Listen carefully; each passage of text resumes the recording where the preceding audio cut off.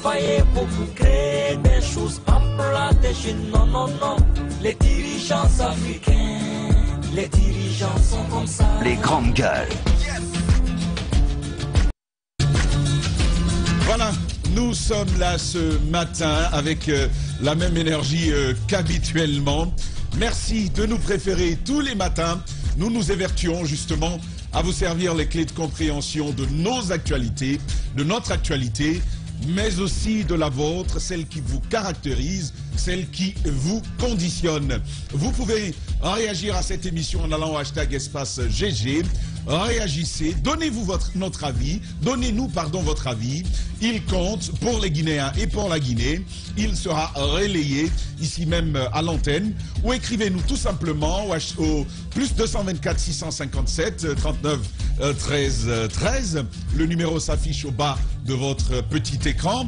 Justement, Issa Toussané est déjà ici et elle vous les rendra cette matinée même pour faire en sorte justement que vous soyez euh, partie prenante à cette euh, émission. Ce matin, de nouveaux sujets. On va parler de la lutte contre la corruption en Guinée qui a été annoncée comme un cheval de bataille par le CNRD depuis le 5 septembre. Il y a ces poursuites qui ont été annoncées par euh, des agents de l'Agence nationale de lutte contre la corruption. Ça ouvre tout le débat sur la volonté de poursuivre ces euh, crimes et ces forfaits dans la gestion de la chose publique. Nous y reviendrons de long en large dans ce numéro. Et puis ces manifestations xénophobes contre des subsahariens en Tunisie. Témoignage exclusif et glaçant, euh, appuyé d'images ce matin, vous le verrez, ce qui se passe en Tunisie euh, est hors de propos, vous verrez justement avec des Guinéens qui prennent la parole ce matin et qui réagissent à la menace qui plane sur eux du côté de la Tunisie. Et puis, l'Office national des loisirs, on va quand même terminer avec quelque chose de beau ce matin. Le directeur général de l'Office national des loisirs est notre invité. Avec lui, nous évoquons tous les chantiers euh, entamés depuis sa prise de euh, fonction, les difficultés qui caractérisent et qui ponctuent son cheminement.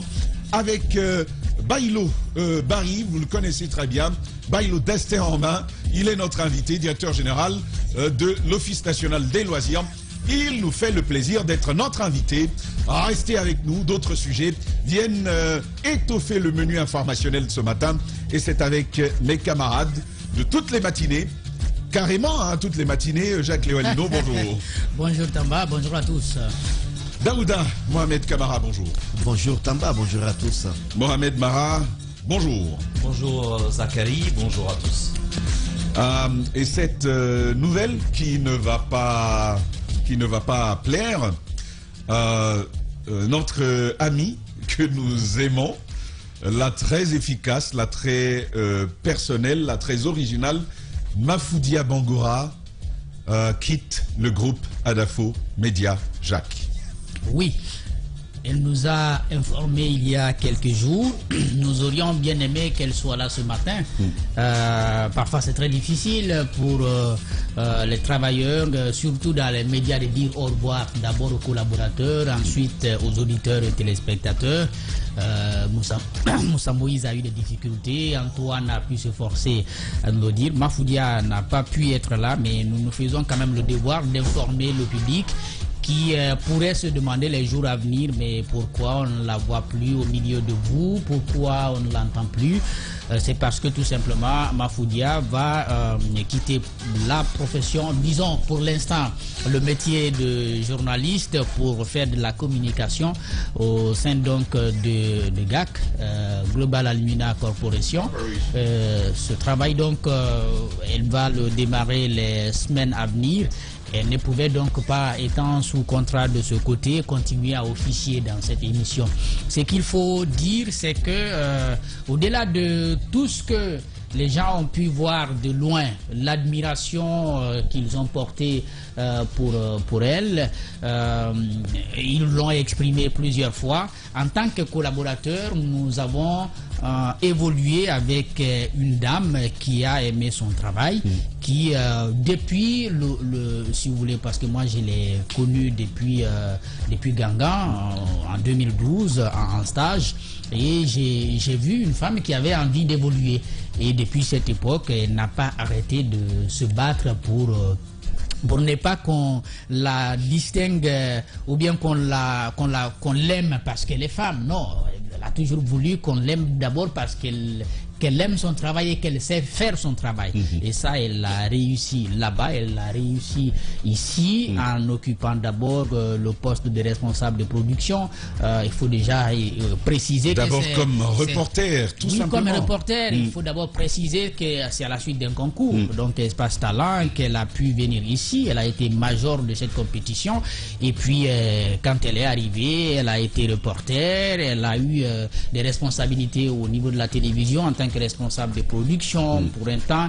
Après, euh, elle va, elle va se retirer pour une formation. Elle revient. Elle bénéficie de notre confiance comme rédactrice en chef au niveau de la télévision. En tant que collaboratrice directe, je l'ai vue euh, très dégourdie, très attachée au contenu du journal, euh, toujours intéressée à vouloir trouver quelque chose de pertinent servir aux De- téléspectateurs. d'original, à chaque fois qu'il y avait quelque chose qui ne marche pas, elle venait vers moi pour me dire j'aurais bien aimé que ça aille comme ça. Et des, des plaintes qui étaient très sensées parce qu'elle avait envie de donner quelque chose de très intéressant. De là où tu es ce matin, Mafoudia, il faut que tu le saches. Moi, j'ai été très content de t'avoir comme euh, collaboratrice. J'ai été très content de t'avoir comme, euh, euh, si vous voulez, adjoint au niveau de la télévision télé. parce que j'ai senti qu'il y avait quelqu'un. Donc, ce que je ne pouvais pas me permettre avant, je pouvais me le permettre quand- Avec elle. av- Avec elle, c'est-à-dire quitter par exemple la télé un peu plus tôt. Et peut-être même m'absenter, ne pas être là et puis être. euh, Elle a tout- elle a- elle avoir, toute la pour- confiance pour que euh, et avoir toute la confiance que ce qui va être servi aux téléspectateurs va être quelque chose d'intéressant. Je sais qu'elle a pu compter sur des collaborateurs comme Daouda Mohamed Kamara et puis euh, Mohamed Damaro Kamara qui ont toujours été là aussi, euh, quelque chose de très convivial puisqu'il y avait la collégialité, on ne sentait pas qui était responsable. Il y a toujours euh, ça qu'elle a réussi ça, même si elle était euh, au-dessus d'eux, euh, mais on sentait que c'était des frères et sœurs qui travaillaient ensemble, on n'avait pas cette catégorisation. C'est quelque chose que j'ai bien noté chez elle. Je veux dire...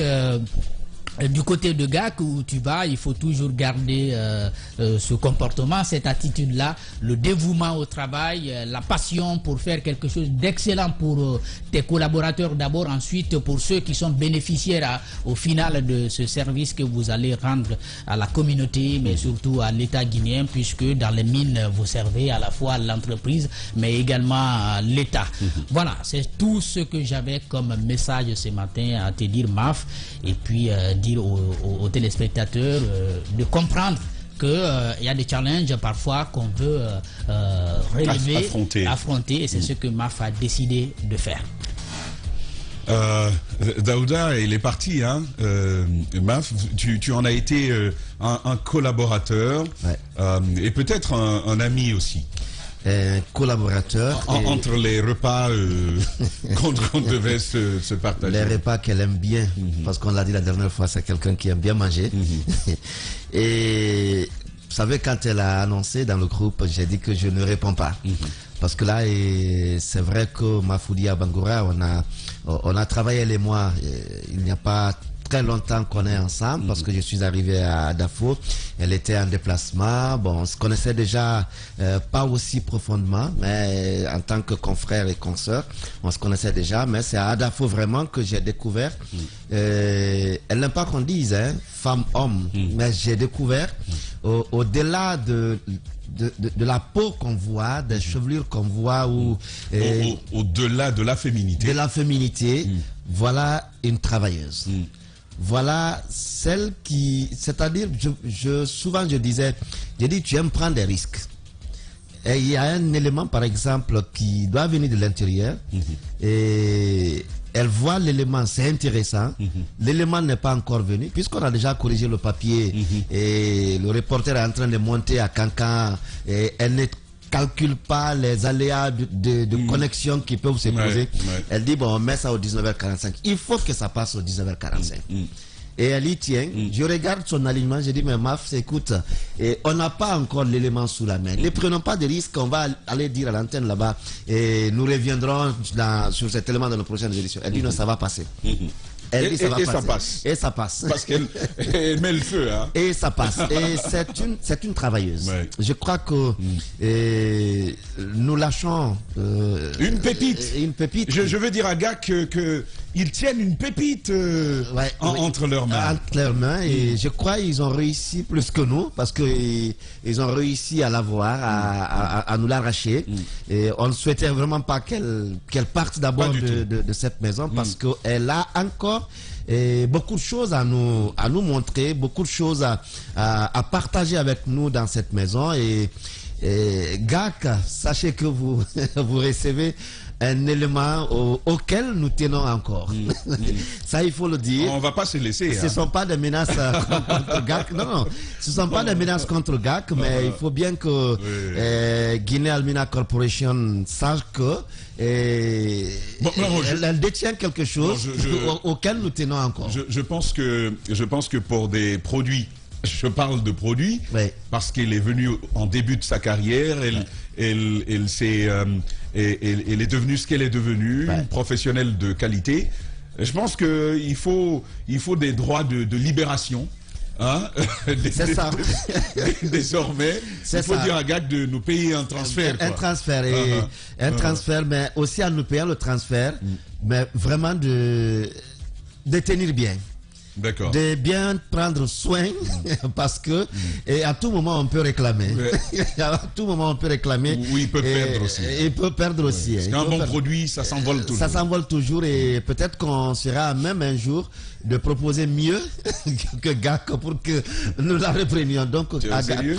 Et non, je suis bien au sérieux. Ça, tout peut arriver. hein. C'est les, les mines, c'est pas. je les- sais bien qui, pas les infos. Qui s'attendait à un 5 septembre. Qui s'attendait à un 5 septembre. ça, peut, ça peut arriver.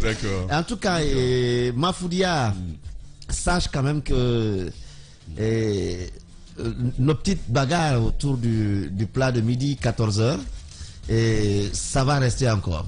on viendra à GAC, on va partager encore. Elle va comme ça, hein, j'imagine. Voilà, Euh, ça c'est un week-end. Bah ouais, Ça, c'est les weekdays, week-ends. Voilà, voilà, des week-ends. Voilà. Mohamed Mara, euh, vous l'avez vous l'avez côtoyé aussi, hein, euh, Mafoudia euh, Bangora, qui euh, prend de nouvelles responsabilités, qui va dans un nouveau monde, pas très loin finalement de ce qu'elle fais- faisait euh, ici. Elle va à, à GAC et c'est une senior euh, communication officer à, à GAC. C'est difficile de parler de MAF en, en ces termes. Euh, je ne sais pas, elle a eu une approche un peu particulière pour m'annoncer ça hier. J'ai, euh, rarement je perds mon latin, mais je l'avais perdu. Oui, j'ai vu Pour ça. ne pas qu'elle comprenne ce qui se passait, j'ai tourné le dos, je suis juste parti. Parce que euh, Maf, c'est la petite sœur. C'est celle devant qui je parle. Et quand je vous parle, en fait, elle entre dans le bureau. Euh, je, je ne la vois même pas comme étant une femme. Je ne sais pas si vous avez remarqué. Quand d'autres femmes entrent dans le bureau, on arrête de parler, on- quelque chose comme ça. Il y a un traitement spécifique, mais quand MAF entre, il- on, on ne prend pas de recul, on se tait pas, on continue sur sa lancée parce que c'est l'ami, c'est c'est c'est l'une de nous quoi. Elle sait, j'ai j'ai un terme parfois que je je lui balance, elle me dit mais, mais tu es grave. On éclate juste de rire. Donc Maf, euh, c'est euh, merci d'avoir été toutes ces amies, la petite sœur, euh, respectueuse. Je te connais depuis euh, une décennie maintenant, respectueuse, mais alors là, toujours, qui te regarde droit dans les yeux, qui te dit ce qu'elle pense, mais avec la plus grande courtoisie. Merci d'avoir été celle qui nous adoucit parfois dans nos moments de colère ou d'indignation, parce qu'elle a toujours euh, cette voix de la raison Beaucoup qui de recul. arrive. On sait comment ça se passe parfois dans le bureau Ouais. face à certaines situations, mais qui trouve les mots justes et qui nous apaise et qui nous amène à être moins va-t-en-guerre, nous les hommes et tout, Mais comme je vous le dis, rarement je regardais Maf comme une femme. Ça, c'est bizarre, mais c'est vrai. Parce que Maf, dans le boulot, Attention. euh, Mais- c'est juste une professionnelle. J'ai envie de dire, c'est juste une professionnelle. C'est pas le type de femme, vous voyez, qui vous sort euh, euh, de petites séductions, de petites phrases euh, pour vous attendrir d'une certaine manière, pour vous amener à céder. Non, non. Elle se bat avec vous, argument contre argument. Sur le même terrain. Sur le même terrain. Exactement. Tu, tu ne lui cèdes pas parce que c'est une Sans femme. concession. Moi, je suis heureux de- d'avoir côtoyé une jeune femme comme ça. Tu, ne, tu ne lui cèdes pas parce qu'elle est une femme, mais parce qu'elle a dit quelque chose d'intelligent. Maf arrache Et de, sa et, de, place. et, de, et, de, et de pertinent. Tu d'accord, Maf C'est bon, on continue. Or, il y a d'autres. Tu lâches parce que bon, c'est une femme qui insiste, tu vois d'abord ça. Maf, non. Tu vois d'abord la pro qui te dit ce qu'elle pense. Et elle le dit dans la plus grande courtoisie. Vous pouvez. Avec Maf, il y a une chose quand même que je, je, peux, je peux témoigner. Nos débuts n'ont même pas été faciles ici ensemble. Euh, euh, vous voyez, elle, elle est pugnace. Elle, elle- elle- elle- elle- elle affirme ce qu'elle veut. J'ai pratiquement la même attitude. Mais très vite, j'avais réalisé avec MAF qu'il est possible d'être en désaccord tout en restant euh, en harmonie. Vous pouvez être en désaccord tout en restant en harmonie. Parce que jamais un mot ne va plus haut qu'un autre avec elle. Jamais. Jamais. euh, je te rappelle, je, je te dis ceci, elle n'aimerait pas que je le dise, mais ça s'est produit ici très récemment. On était en pleine émission, j'avais la parole. J'ai dit quelque chose, je crois que Daouda doit s'en souvenir. Les deux sont partis d'un éclat de rire, mais, mais, mais contagieux en fait, pour toute la salle finalement. J'ai juste, je ne l'ai même pas regardé, j'ai continué à parler. Quand je termine, le temps pour moi de terminer, c'est va vous montrer l'autre facette de MAF. Le temps pour moi de terminer, je la regarde, je vois qu'elle me regarde avec une certaine intensité. Je, je la regarde comme pour savoir, oui, qu'est-ce qu'il y a Elle ne dit rien, je baisse le regard, je me rends compte que mon écran s'est allumé. Je regarde, MAF m'a écrit. Elle m'écrit, tu sais pourquoi? Parce qu'elle pensait que son attitude m'avait fait mal, m'avait frustré. Sauf que moi, je ne l'ai pas retenu parce qu'on est habitué au studio. Le public ne voit pas tout ce qui se passe derrière la caméra. Quand quelqu'un parle, les autres, parfois, s'occupent d'autres choses. Il y a énormément de choses qui, parfois, peuvent vous distraire. Je regarde ça, je suis juste parti d'un éclat de rire. Je dis, mais non, toi aussi, quand même. Oublions ça et avançons. Mais ça, c'est MAF. Donc, capable de s'excuser. Donc, ah, ça montre le trait d'humilité qui lui a justement permis de pouvoir rassembler les gens autour d'elle à la rédaction de la télé euh, toutes ces années, sans anicroche. Et ça, c'est parfois très rare. C'est parfois très rare. Parce que parfois, les très bons professionnels sont souvent aussi arrogants. Sont souvent aussi arrogants. En effet. Et je suis désolé de le dire ainsi, surtout quand c'est des femmes, elles veulent qu'on sache que oui, ce sont elles qui sont là. MAF n'a pas besoin d'aller au clash pour se faire entendre. Je veux te dire, euh, ceux qui vont t'avoir sont très chanceux, petite sœur. Et du fond du cœur, je t'ai formulé, j'ai formulé des prières pour toi hier, tu le sais. Et du fond de mon cœur, sache que nous t'aimons. Nous allons continuer à t'aimer, euh, comme toujours. Et tout ce que nous demandons à Dieu, c'est de t'accorder le désir le plus profond de ton cœur. Sois heureuse et épanouie dans le nouveau boulot que tu vas avoir. Voilà, ce- c'était les propos de, des chroniqueurs. Ma, finalement, euh, tu sais ce que je pense de toi. Euh, très très bonne chance. Et tu vas nous manquer. On continue. Chaque matin dès 9h sur Radio Espace Guinée et sur nos radios partenaires, écoutez un show radio-télé unique en Guinée, les GG. Pendant deux heures, l'équipe des GG de Radio Espace Guinée s'applique à partager l'actualité au plus près du quotidien des Guinéens. Un rendez-vous exceptionnel mêlant infos en direct, débats autour de l'actualité, réactions et interventions d'experts. En simultané sur Espace. Bien, nous revenons ici euh, en studio, nous revenons en studio justement et on va parler corruption.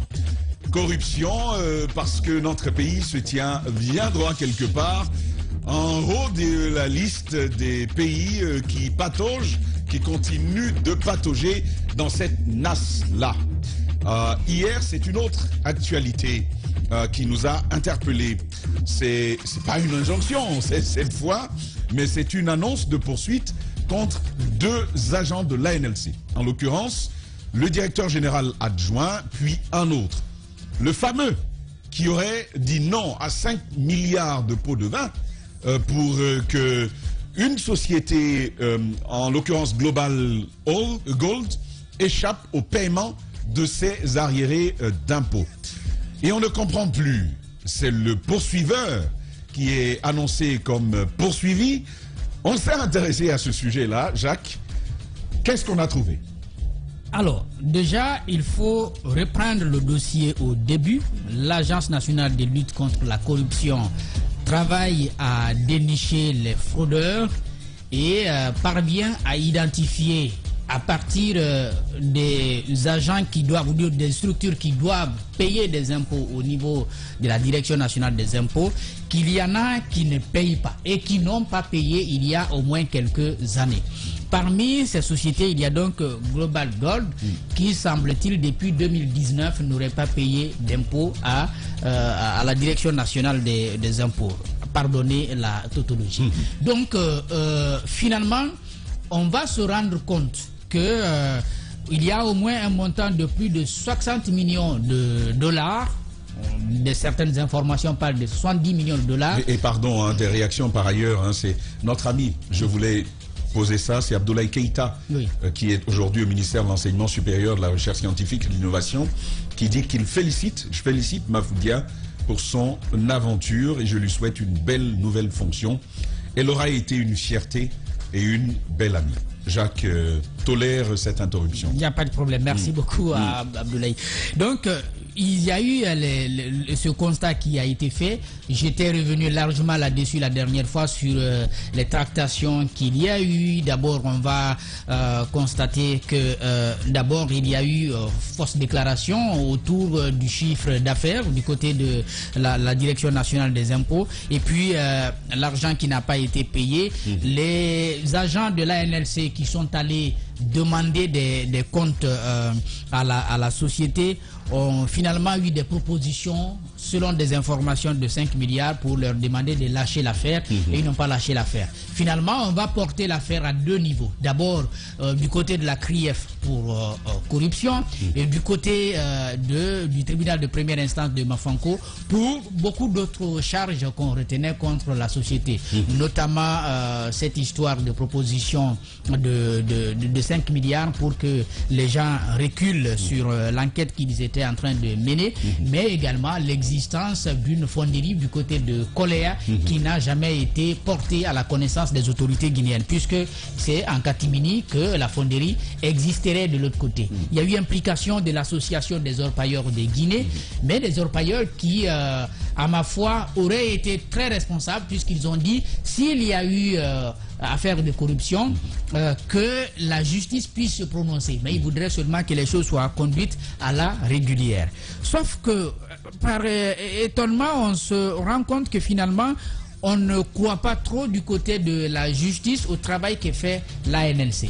On a donc euh, mis en avant à travers cette euh, lettre qui annonce des poursuites qui est apparue sur euh, les réseaux sociaux que euh, le directeur général adjoint de l'ANLC et un chef de division qui, était au, au- qui est au centre de toute cette histoire aurait reçu 2 milliards. Ce que nous avons comme information. Et avec euh, éléments de preuve à l'appui, D'accord. c'est que les 2 milliards dont on parle ont été payés euh, pourquoi? Parce que la société conteste les 70 millions de dollars qu'il, euh, qu'elle devrait, n'est-ce pas, à l'État. Donc finalement, après discussion, il y a eu entente pour qu'on recrute un cabinet indépendant qui va donc réévaluer le chiffre d'affaires et à partir de quel chiffre d'affaires on va déterminer euh, l'impôt dû à l'État. Ce travail-là est en cours, mais entre-temps, il faut quand même qu'il y ait, semble-t-il, une garantie. Oui. Et pour cette garantie, parce que la société ne dit pas je ne dois rien, mais la société dit je ne dois pas tout ce montant qu'on me reproche. Mais quand même, vous, on, on demande à la société de payer d'abord quand même un peu. La société va donc payer 2 milliards.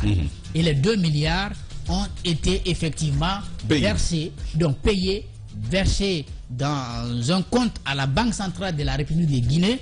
Je parle donc sur la foi d'éléments de preuve dont nous disposons. Donc ce montant euh, a donc été payé ce niveau- à, ce niveau. Mais il, y a eu- il va y avoir mieux. Parce que la note qui a été publiée hier sur les réseaux sociaux a été euh, euh, faite, euh, semble-t-il, Et- depuis et- le 15 Et février. il faut préciser que c'est sur le compte du receveur spécial des impôts, De- justement, Oui. à la BCRG, de, donc l'agence de Kaloum, l'agence, j'imagine, donc qui va recevoir ce montant qui va de recevoir milliards. ce montant de 2 milliards. Donc, il va y avoir mieux parce que la note qui a été publiée hier sur les réseaux sociaux a été euh, euh, prise le 15 février. En effet. Entre-temps, il va y avoir des discussions entre le parquet général et l'ANLC.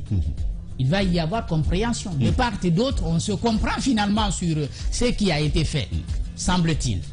Mais on ne comprend pas, à la date du 22 février, qu'on voit sur la toile une note qui dit, euh, euh, qui, qui maintient toujours euh, cette annonce de poursuite. Ce matin, j'ai tenté, en tout cas, de joindre le parquet, d'abord le procureur général et les deux avocats généraux, euh, le numéro de celui qui a signé donc l'annonce, donc l'avocat général, monsieur Mohamed Lamine Diallo, ne passe pas. Le numéro de l'autre avocat Diambora passe, mais il n'a pas décroché. Mais j'ai pu avoir le procureur général qui a promis de me rappeler euh, dans 10 minutes. 10 minutes plus tard. Euh, 10 minutes plus Mais tard. c'est jamais arrivé. 10 minutes plus tard, il ne l'a pas fait. J'ai, je l'ai rappelé pour que je sache ce qui s'est passé. Il n'a pas décroché. J'ai envie de dire quelque chose ce matin. On est en train de lutter contre la corruption. Je veux qu'on rassure. Bon, le procureur qui me rappelle Euh, maintenant. finalement, Daouda donc, peut- Je vais Daouda donner peut- à Daouda puisse- pour qu'il puisse euh, euh, répondre. Répondre, euh, oui. Pour qu'il puisse répondre, pour, pour qu'on comprenne ce qui s'est passé. Oui. Si la note là est sortie, comment c'est sorti? Mais, mais, mais, mais, Jacques, on va aller, on va aller mollo. Oui. Euh, on, on commence à, on, on va au début. Une note euh, sort et la note annonce des poursuites. Oui. Euh, ensuite, vous nous annoncez qu'il y a eu, il y a eu échange, il y a eu discussion autour de, de cette note, Oui. et que après, il se serait compris. Il se serait compris. Euh, mais première chose, compris sur quoi finalement? D'après les informations que j'ai, le parquet général a fini par comprendre Hmm. que l'argent n'a pas été versé dans un compte d'un des agents mis en cause. Que l'argent a effectivement été versé dans un compte de la BCRG, donc comme euh, euh, tu viens de le dire tout à l'heure, euh, c'est le receveur euh, Spécial. spécial de la, de la Direction nationale des, Des impôts. Donc c'est dans ce compte que, donc logé à la Banque centrale, que la transaction a été faite, disons-le clairement, de Ecobank vers la Banque centrale de la République de Guinée dans ce compte. Le parquet général va donc avoir cette information, semble-t-il donc convaincu finalement qu'il n'y a pas de doute. Mais Jacques, Maintenant, on ne le, comprend le pas. problème c'est comment on annonce des poursuites alors qu'on qu'on a absolument rien sous la main. question fondamentale. Donc, la première erreur, vous, la, la- la- la première erreur, vous pouvez la commettre. Si c'en est une. Si ça n'est une, si ça n'est une, parce que euh, euh, Daouda nous reviendra tout à l'heure de ce qu'il aura comme information avec le procureur général. Mais une fois que vous avez ça et vous, vous avez la note qui est restée à l'interne, comment ça s'est fait pour que ça se retrouve sur la toile? C'est pourquoi j'étais en train de dire, il faut qu'on rassure du côté du ministère de la Mais Justice. Jacques, excusez trop encore facile. une fois, excusez encore une fois qu'on revienne sur le ministère. de la Jacques, la note, la note, Je pense. la note qui, qui fuite, c'est c'est un sujet, on va l'aborder. Oui. Mais la première explication ne tient pas, c'est trop facile. On ne peut pas comprendre que le ministère de la Justice, j'ai envie de dire, Le parquet le général. parquet le général, parquet général. le parquet général prend la décision de poursuivre euh, des agents qui ont fait un travail, ma foi, euh, louable, comme ça tout simplement, et après on vient se raviser, on dit, on n'avait pas compris. Qu'est-ce qui était poursuivi au début? C'est ça, le nœud. Question fondamentale. Et moi, c'est le. Les 2 milliards ont été payés. Ce sont, ce sont des réponses que nous cherchons auprès Mm. du parquet général. Pourquoi avait-on décidé de poursuivre, Poursuivre. Est-ce qu'on avait cherché des informations au préalable? Pour comprendre si les 2 milliards qui ont été payés ont été versés dans le compte personnel soit du DGA de la NLC Qui- qui- ou alors euh, de, de, de, de l'agent à qui on a proposé déjà 5 milliards, selon donc des informations, mais qui aurait refusé, mais qui va quand même, d'après cette annonce de poursuite, accepter de recevoir 2 milliards après. Parce que moi, ça aussi, je ne comprends Question. pas. Parce que on dit que le monsieur, on lui a proposé 5 milliards pour qu'il arrête. Il a refusé d'arrêter. Mais on va quand même, d'après cette proposer annonce de 2 poursuite, milliards après, accepter de recevoir 2 viendrait milliards. Donc il viendrait accepter. Ça n'a pas de Moi, sens. c'est c'est Donc ça, ça, aussi, je ne comprends pas. Information à devoir, on dit euh, que le déchiffrer. monsieur, À devoir on lui a déchiffrer proposé pour 5 comprendre clairement. Les grandes Il a refusé d'arrêter. Mais on va quand même, d'après cette proposé 2 Euh, milliards, deux. accepter de recevoir je 2 viens de milliards. Donc il viendrait accepter. Ça n'a pas de sens. Moi, c'est ça, aussi, je ne comprends pas. Information à devoir, la valeur est le- parce que la dimension claire. Les grandes On va quand même, d'après cette proposé 2 milliards, accepter de recevoir 2 milliards. Donc il viendrait accepter. Moi, c'est ça, aussi, je ne comprends pas. Information à devoir, la valeur est parce que monsieur, on lui a proposé la dimension claire. Et on va quand même, d'après cette proposé 2 milliards. Question donc que je me pose parce que j'étais en train de dire il faut qu'on rassure un peu du côté du parquet. Cette habitude, depuis euh, le début de cette transition, à publier tout sur les réseaux sociaux, je crois, risque de compromettre dangereusement le travail qui, à ma foi, peut être, euh, être en train d'être mené sereinement. Je crois qu'il faut, il faut faire très attention parce qu'une fois que vous avez envoyé, c'est parti. Et nous avons quelqu'un du Serail qui, nous parti. écrit maintenant en, en live et qui dit que le procureur général dit qu'il ne sait pas qui a fait fuiter le document et qu'ils vont rectifier ça. Mais il faut le, il, il- il faut le faire, mais en même temps, Mais il y a un, je tu crois c'est très qu'il y a un peu trop de fuites euh, au niveau de la justice euh, ces derniers mois? Non, mais Parce on- que pratiquement tous les actes sont dehors. tous les actes sont dehors. Hi- hi- Hier, euh, hier, hier nuit, je lisais, non, c'était ce matin, je lisais des, des, des extraits d'un rapport d'inspection qui vient juste, je ne sais même pas si le rap- si l'inspection est encore bouclée, mais les propos du procureur de, De Cancan. ce matin, c'est. Mais, mais attendez, quand même, de qui se moque C'est un procès verbal, non? Oui, Un procès verbal de, de- qui a de- été de- exploité. de, de, de- oui, qui a été exploité de, de comment ça s'appelle, de, de- d'inspection générale quand même. Alors que l'affaire n'est même pas bouclée. Parce que nous, les éléments, ça continue d'arriver. hein. Et on reviendra sur cette affaire-là. Allez-y. Donc ça, c'est la première des choses que je voudrais dire par rapport à la facilité qu'on a aujourd'hui au niveau du ministère de la Justice et même des parquets à mettre tout sur les réseaux sociaux. Vous avez comme ça des annonces de poursuite. Celui qui a signé l'annonce de poursuite, son numéro ne passe pas euh, euh, ce matin, je ne sais pas pourquoi. Et finalement, on a trouvé quelqu'un là-bas où, disons, peut-être que tout le monde a accès finalement aux documents les sensibles. Donc euh, chacun peut prendre et dès qu'il a quelque chose contre quelqu'un, il va, il met sur la toile. Et puis tout le monde euh, vient là-dessus pour dire, bon, tel a fait ci, tel a fait ça. Je crois que ça, c'est très... Mais encore, encore heureux, Jacques, encore heureux que ce type de document fuite. Parce qu'il y a quand même derrière un, un gros défi. L'ANLC s'occupe de lutte contre la corruption. Et est-ce que finalement, ce type d'action n'a pas le mérite de décourager l'engagement des gens qui luttent contre la Je corruption voudrais même revenir sur ça. Puisque on est quand même convaincu, jusqu'à ce stade, que le tribunal de première instance de Mafanko est sur ce dossier. Le TPI de Mafanko relève du parquet général de Conakry, de la cour d'appel de Conakry. Comment peut-on être convaincu que la société est poursuivie et en même temps les gens qui ont porté cette affaire devant la justice viennent être poursuivis aussi par le parquet général sur la base d'annonces de poursuite avec le courrier qu'on a eu. Je crois qu'il faut qu'on fasse un peu attention, ou même très attention.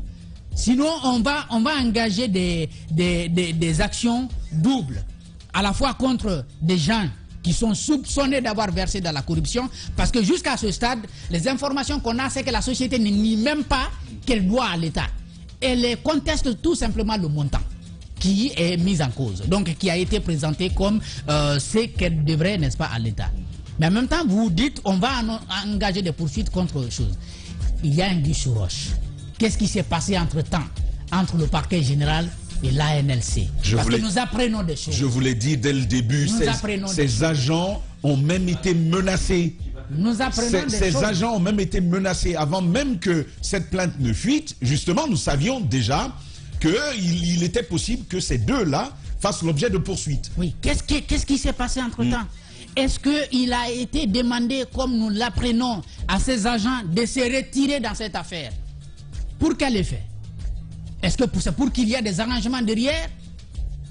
Nous voulons bien le savoir. Parce que moi, je, je ne vais pas mâcher mes mots là-dessus. Ceux qui luttent contre la corruption.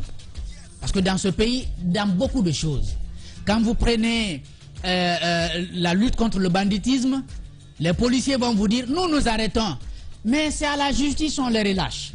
Quand on parle des cas de viol, on dit, euh, le, le, le Progem et puis la BSPPV font leur travail. Mais c'est à la justice qu'on relâche. La lutte contre la corruption, la presse dénonce. Mais c'est à la justice finalement que ça capote. Il faut qu'on arrête ça.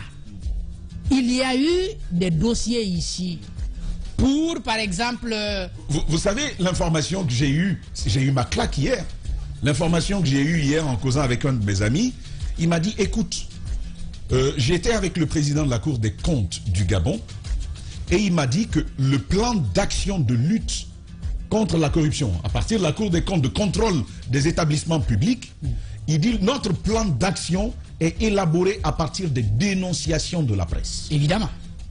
Ici, Vous vous rendez bien compte ce qui se passe au Gabon tout près et que finalement cette presse-là, on, on devient une, une cible finalement. une cible. Donc, je, je- Oui, je vais, mais je vais c'est le finir. but, mais c'est aux journalistes aussi de ne pas tomber dans cela. Parce que quand, je vais quand terminer. la presse lève les lièvres quand même, il nous appartient normalement.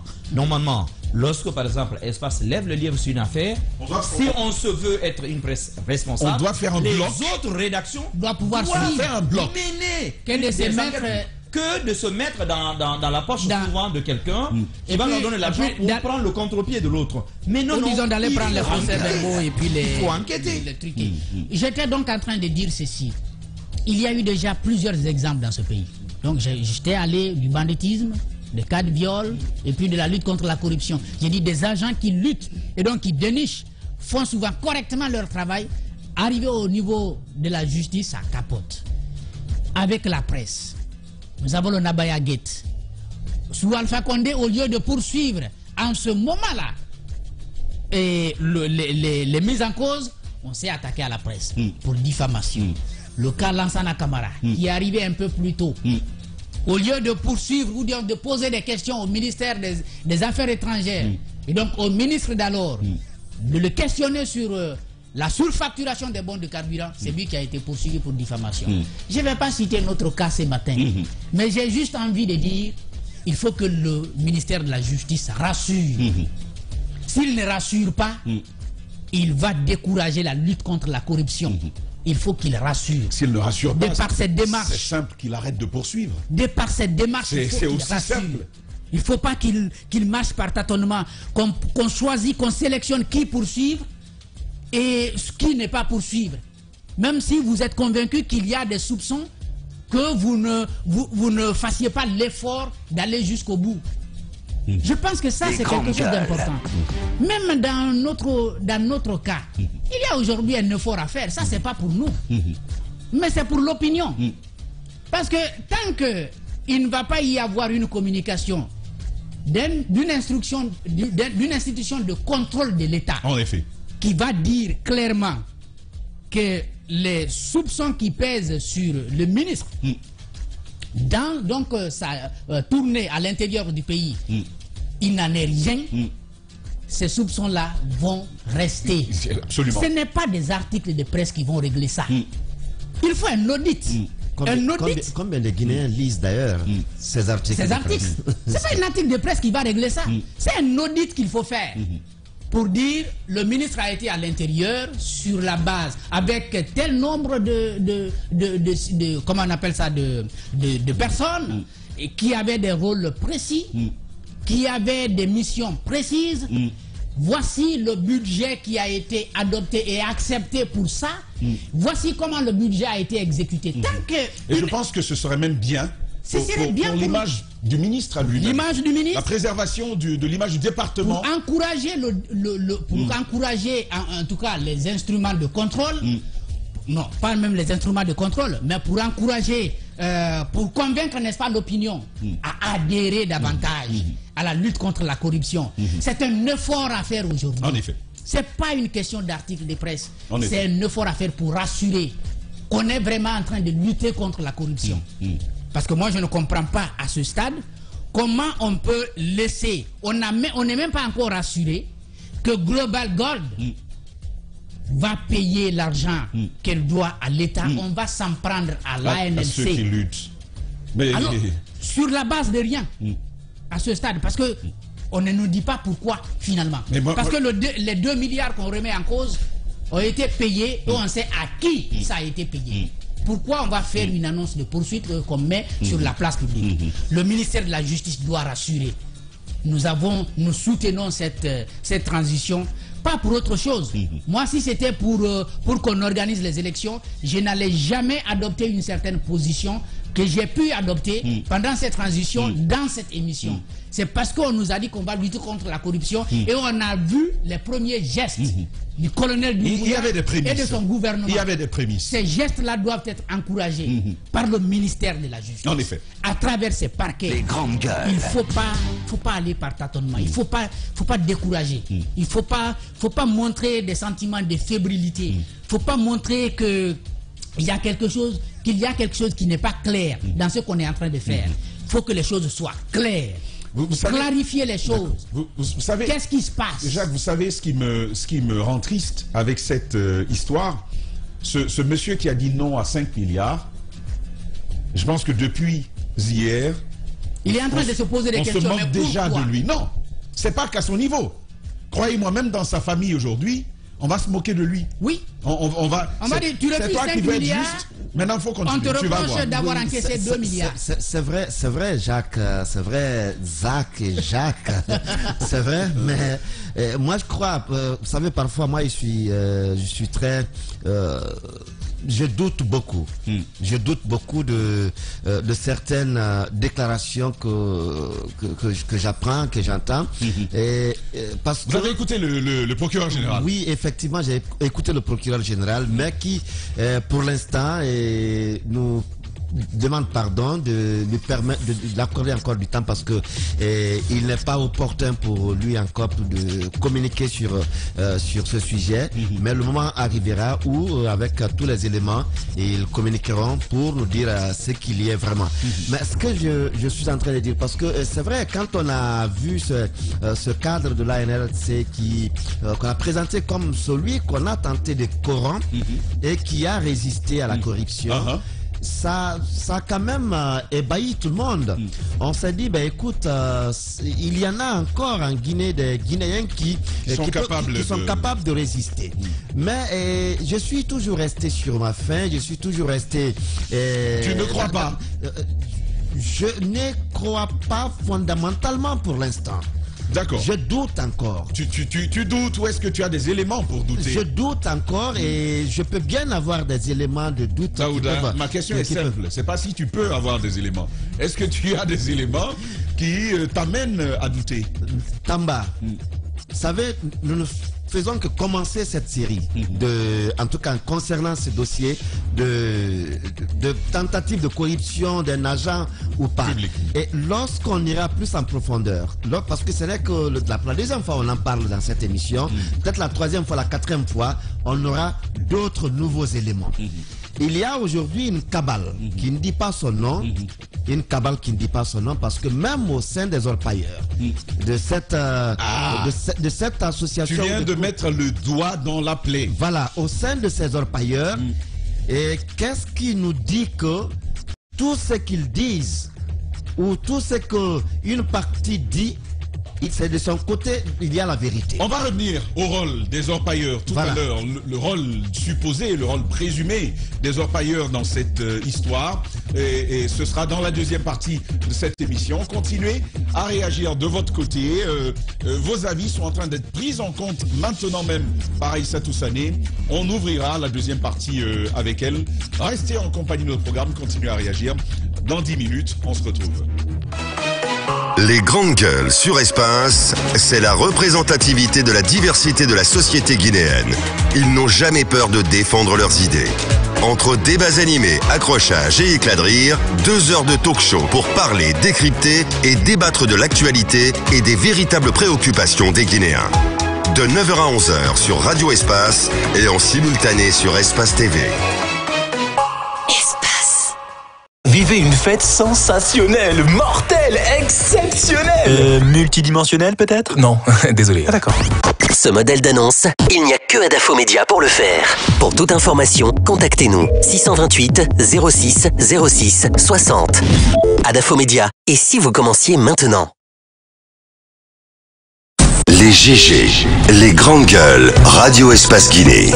Notre démocratie, la démocratie guinéenne, qualifie de basse intensité le fait que ces hommes, quand ils sont dans l'opposition, font d'abord semblant d'en avoir pris conscience, puis font l'inverse de ce qu'ils avaient promis une fois arrivés au pouvoir. Restons vigilants, car le pouvoir, c'est vous, le peuple. Radio Espace Guinée. Les grandes gueules prônent un journalisme de construction démocratique au service de l'intérêt public. Les GG défendent la démocratie. Et la démocratie, c'est aussi des contre-pouvoirs. Nous bousculons un certain journalisme de gouvernement, un journalisme de cour, un journalisme qui est dans la révérence avec le pouvoir. Bienvenue chez vous, les GG sur Espace.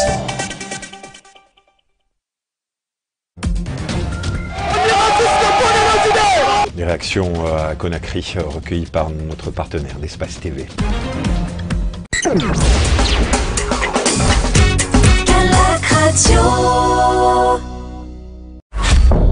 En route pour de nouveaux horizons. Aventure, évasion, rencontre, partage, dépaysement. Voir la Guinée autrement. Pour cette rentrée, nous vous proposons des inédits. Bienvenue sur Adafo Média.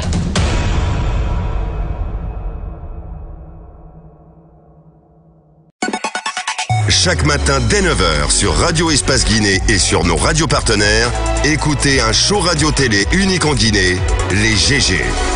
Pendant deux heures, l'équipe des GG de Radio Espace Guinée s'applique à partager l'actualité au plus près du quotidien des Guinéens. Un rendez-vous exceptionnel mêlant infos en direct, débat autour de l'actualité, réactions et interventions d'experts. En simultané sur Espace TV. Tout le Nabaya, Dans tout le Nabaya, Baté, Mandiana, Sigiri, c'est Radio Espace sur 99. Radio Espace Cancan, la plus cancanaise des radios. Les talents sûrs ne meurent jamais. Quelles que soient les épreuves, les difficultés, les crises, les circonstances, ils arrivent toujours à se surpasser et restent sous les projecteurs. Avec l'audace, tout devient possible. Les plus beaux palmarès de l'audiovisuel guinéen, c'est sur Adafo Média. Adafo Média, le futur, vivons-le ensemble. Radio Espace Guinée, les GG. Attention aux fake news. Le grand tribunal des réseaux sociaux a un peu perverti le débat. La moindre phrase est sortie de son contexte. Cela peut souvent arriver à certaines grandes gueules qui sont prises à partie. Il faut garder sa liberté d'expression. Ici, c'est les GG. Bienvenue dans votre talk show qui vous ressemble en ondes depuis plus de 10 ans. Radio Espace Guinée. Radio Espace Guinée. Amalapouya, Gorée, Corera, Boubouya, Dabis, Pont de Fer, Solaya, Limania, Katako, Kolaboui, Filira, Amdalaï sur 99.7. Radio Espace Kakandé, la plus bagataille. La plus bagataille des radios. Les grandes gueules sur espace, c'est la représentativité de la diversité de la société guinéenne. Ils n'ont jamais peur de défendre leurs idées. Entre débats animés, accrochages et éclats de rire, deux heures de talk show pour parler, décrypter et débattre de l'actualité et des véritables préoccupations des Guinéens. De 9h à 11h sur Radio Espace et en simultané sur Espace TV. Vivez une fête sensationnelle, mortelle, exceptionnelle Euh, multidimensionnel peut-être? Non, désolé. Ah d'accord. Ce modèle d'annonce, il n'y a que Adafo Média pour le faire. Pour toute information, contactez-nous 628 06 06 60. Adafo Média. Et si vous commenciez maintenant? Les GG, les grandes gueules, Radio Espace Guinée. Notre démocratie, la démocratie guinéenne, qualifie de basse intensité le fait que ces hommes, quand ils sont dans l'opposition, font d'abord semblant d'en avoir pris conscience, puis font l'inverse de ce qu'ils avaient promis une fois arrivés au pouvoir. Restons vigilants, car le pouvoir, c'est vous, le peuple. Radio Espace Guinée. Les grandes gueules prônent un journalisme de construction démocratique au service de l'intérêt public. Les GG défendent la démocratie. Et la démocratie, c'est aussi des contre-pouvoirs. Nous bousculons un certain journalisme de gouvernement, un journalisme de cour, un journalisme qui est dans la révérence avec le pouvoir. Bienvenue chez vous, les GG sur Espace.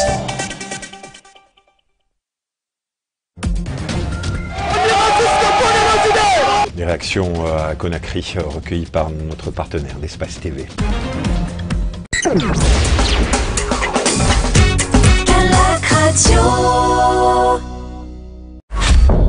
En route pour de nouveaux horizons. Aventure, évasion, rencontre, partage, dépaysement. Voir la Guinée autrement. Pour cette rentrée, nous vous proposons des inédits. Bienvenue sur Adafo Média.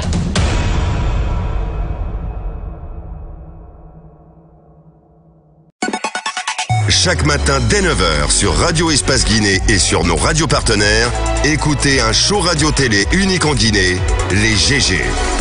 Pendant deux heures, l'équipe des GG de Radio Espace Guinée s'applique à partager l'actualité au plus près du quotidien des Guinéens. Un rendez-vous exceptionnel mêlant infos en direct, débats autour de l'actualité, réactions et interventions d'experts. En simultané sur Espace TV. Dans tout le Nabaya, Dans tout le Nabaya, Baté, Mandiana, Sigiri, c'est Radio Espace sur 99. Radio Espace Cancan, la plus cancanaise des radios. Les talents sûrs ne meurent jamais. Quelles que soient les épreuves, les difficultés, les crises, les circonstances, ils arrivent toujours à se surpasser et restent sous les projecteurs. Avec l'audace, tout devient possible. Les plus beaux palmarès de l'audiovisuel guinéen, c'est sur Adafo Média. Adafo Média, le futur, vivons-le ensemble. Radio Espace Guinée, les GG. Attention aux fake news. Le grand tribunal des réseaux sociaux a un peu perverti le débat. La moindre phrase est sortie de son contexte. Cela peut souvent arriver à certaines grandes gueules qui sont prises à partie. Il faut garder sa liberté d'expression. Ici, c'est les GG. Bienvenue dans votre talk show qui vous ressemble en ondes depuis plus de 10 ans. Radio Espace Guinée. Radio Espace Guinée. Amalapouya, Gorée, Corera, Boubouya, Dabis, Pont de Fer, Solaya, Limania, Katako, Kolaboui, Filira, Amdalaï sur 99.7. Radio Espace Kakandé, la plus bagataille. La plus bagataille des radios. Les grandes gueules sur espace, c'est la représentativité de la diversité de la société guinéenne. Ils n'ont jamais peur de défendre leurs idées. Entre débats animés, accrochages et éclats de rire, deux heures de talk show pour parler, décrypter et débattre de l'actualité et des véritables préoccupations des Guinéens. De 9h à 11h sur Radio Espace et en simultané sur Espace TV. Vivez une fête sensationnelle, mortelle, exceptionnelle Euh, multidimensionnel peut-être? Non, désolé. Ah d'accord. Ce modèle d'annonce, il n'y a que Adafo Média pour le faire. Pour toute information, contactez-nous 628 06 06 60. Adafo Média. Et si vous commenciez maintenant? Les GG, les grandes gueules, Radio Espace Guinée. Notre démocratie, la démocratie guinéenne, qualifie de basse intensité le fait que ces hommes, quand ils sont dans l'opposition, font d'abord semblant d'en avoir pris conscience, puis font l'inverse de ce qu'ils avaient promis une fois arrivés au pouvoir. Restons vigilants, car le pouvoir, c'est vous, le peuple. Radio Espace Guinée. Les grandes gueules prônent un journalisme de construction démocratique au service de l'intérêt public. Les GG défendent la démocratie. Et la démocratie, c'est aussi des contre-pouvoirs. Nous bousculons un certain journalisme de gouvernement, un journalisme de cour, un journalisme qui est dans la révérence avec le pouvoir. Bienvenue chez vous, les GG sur Espace.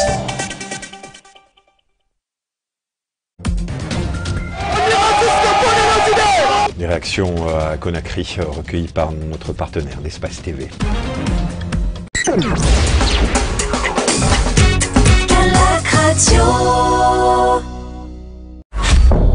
En route pour de nouveaux horizons. Aventure, évasion, rencontre, partage, dépaysement. Voir la Guinée autrement. Pour cette rentrée, nous vous proposons des inédits. Bienvenue sur Adafo Média.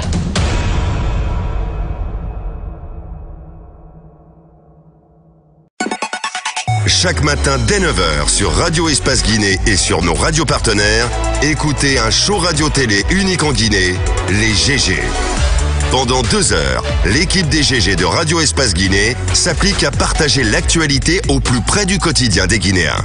Un rendez-vous exceptionnel mêlant infos en direct, débats autour de l'actualité, réactions et interventions d'experts. En simultané sur Espace TV. Nabaya, Dans tout le Nabaya, Baté, Mandiana, Sigiri, c'est Radio Espace sur 99. Radio Espace Cancan, la plus cancanaise des radios. Les talents sûrs ne meurent jamais. Quelles que soient les épreuves, les difficultés, les crises, les circonstances, ils arrivent toujours à se surpasser et restent sous les projecteurs. Avec l'audace, tout devient possible. Les plus beaux palmarès de l'audiovisuel guinéen, c'est sur Adafo Média. Adafo Média, le futur, vivons-le ensemble. Radio Espace Guinée, les GG. Attention aux fake news. Le grand tribunal des réseaux sociaux a un peu perverti le débat. La moindre phrase est sortie de son contexte. Cela peut souvent arriver à certaines grandes gueules qui sont prises à partie. Il faut garder sa liberté d'expression. Ici, c'est les GG. Bienvenue dans votre talk show qui vous ressemble en ondes depuis plus de 10 ans. Un groupe de base qui rejette catégoriquement toute négociation avec les chefs militaires soudanais, le général Abder Fattah Bourhan et le général Dagalo. Et puis, les deux chambres du Parlement russe ont acté mercredi la suspension du traité de désarmement nucléaire NURSTAT, une décision annoncée la veille par le président Vladimir Poutine et dénoncée à l'unisson par les puissances occidentales. Les députés de la Douma, la chambre basse, ont d'abord approuvé à l'unanimité la suspension avant d'être suivis quelques heures plus tard par les sénateurs de la chambre haute, le Conseil de la Fédération. Le ministère russe des Affaires étrangères avait toutefois précisé mardi que Moscou continuerait de respecter la limitation de son arsenal nucléaire malgré la suspension de Nurstat jusqu'à la fin effective du traité le 5 février 2026. Pour finir, les funérailles des 11 Palestiniens, dont un adolescent de 16 ans tué mercredi, ont eu lieu dans le nord de la Cisjordanie. En plus des morts, les autorités ont enregistré plus de 80 blessés par balle lors d'un raid militaire israélien à Naplouse, à New York. Le secrétaire général de l'ONU, Antonio Guterres, s'est alarmé que la situation dans le territoire palestinien occupé soit la plus inflammable depuis des années. L'Union européenne s'est dite profondément inquiète. Depuis le début de l'année, le conflit israélo-palestinien a coûté la vie à 60 Palestiniens, parmi lesquels des membres de groupes armés, dont trois mineurs et un policier israélien, ainsi qu'une ukrainienne. Voilà, c'est la fin de ce flash. La suite des GG dans un instant. Les grandes gueules sur espace, c'est la représentativité de la diversité de la société guinéenne. Ils n'ont jamais peur de défendre leurs idées. Entre débats animés, accrochages et éclats de rire, deux heures de talk show pour parler, décrypter et débattre de l'actualité et des véritables préoccupations des Guinéens. De 9h à 11h sur Radio Espace et en simultané sur Espace TV.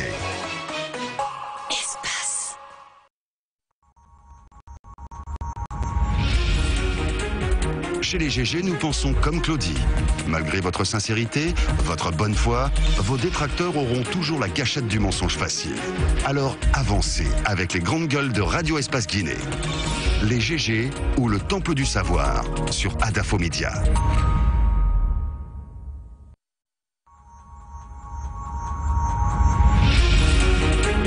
Chez les GG, nous pensons comme Claudie.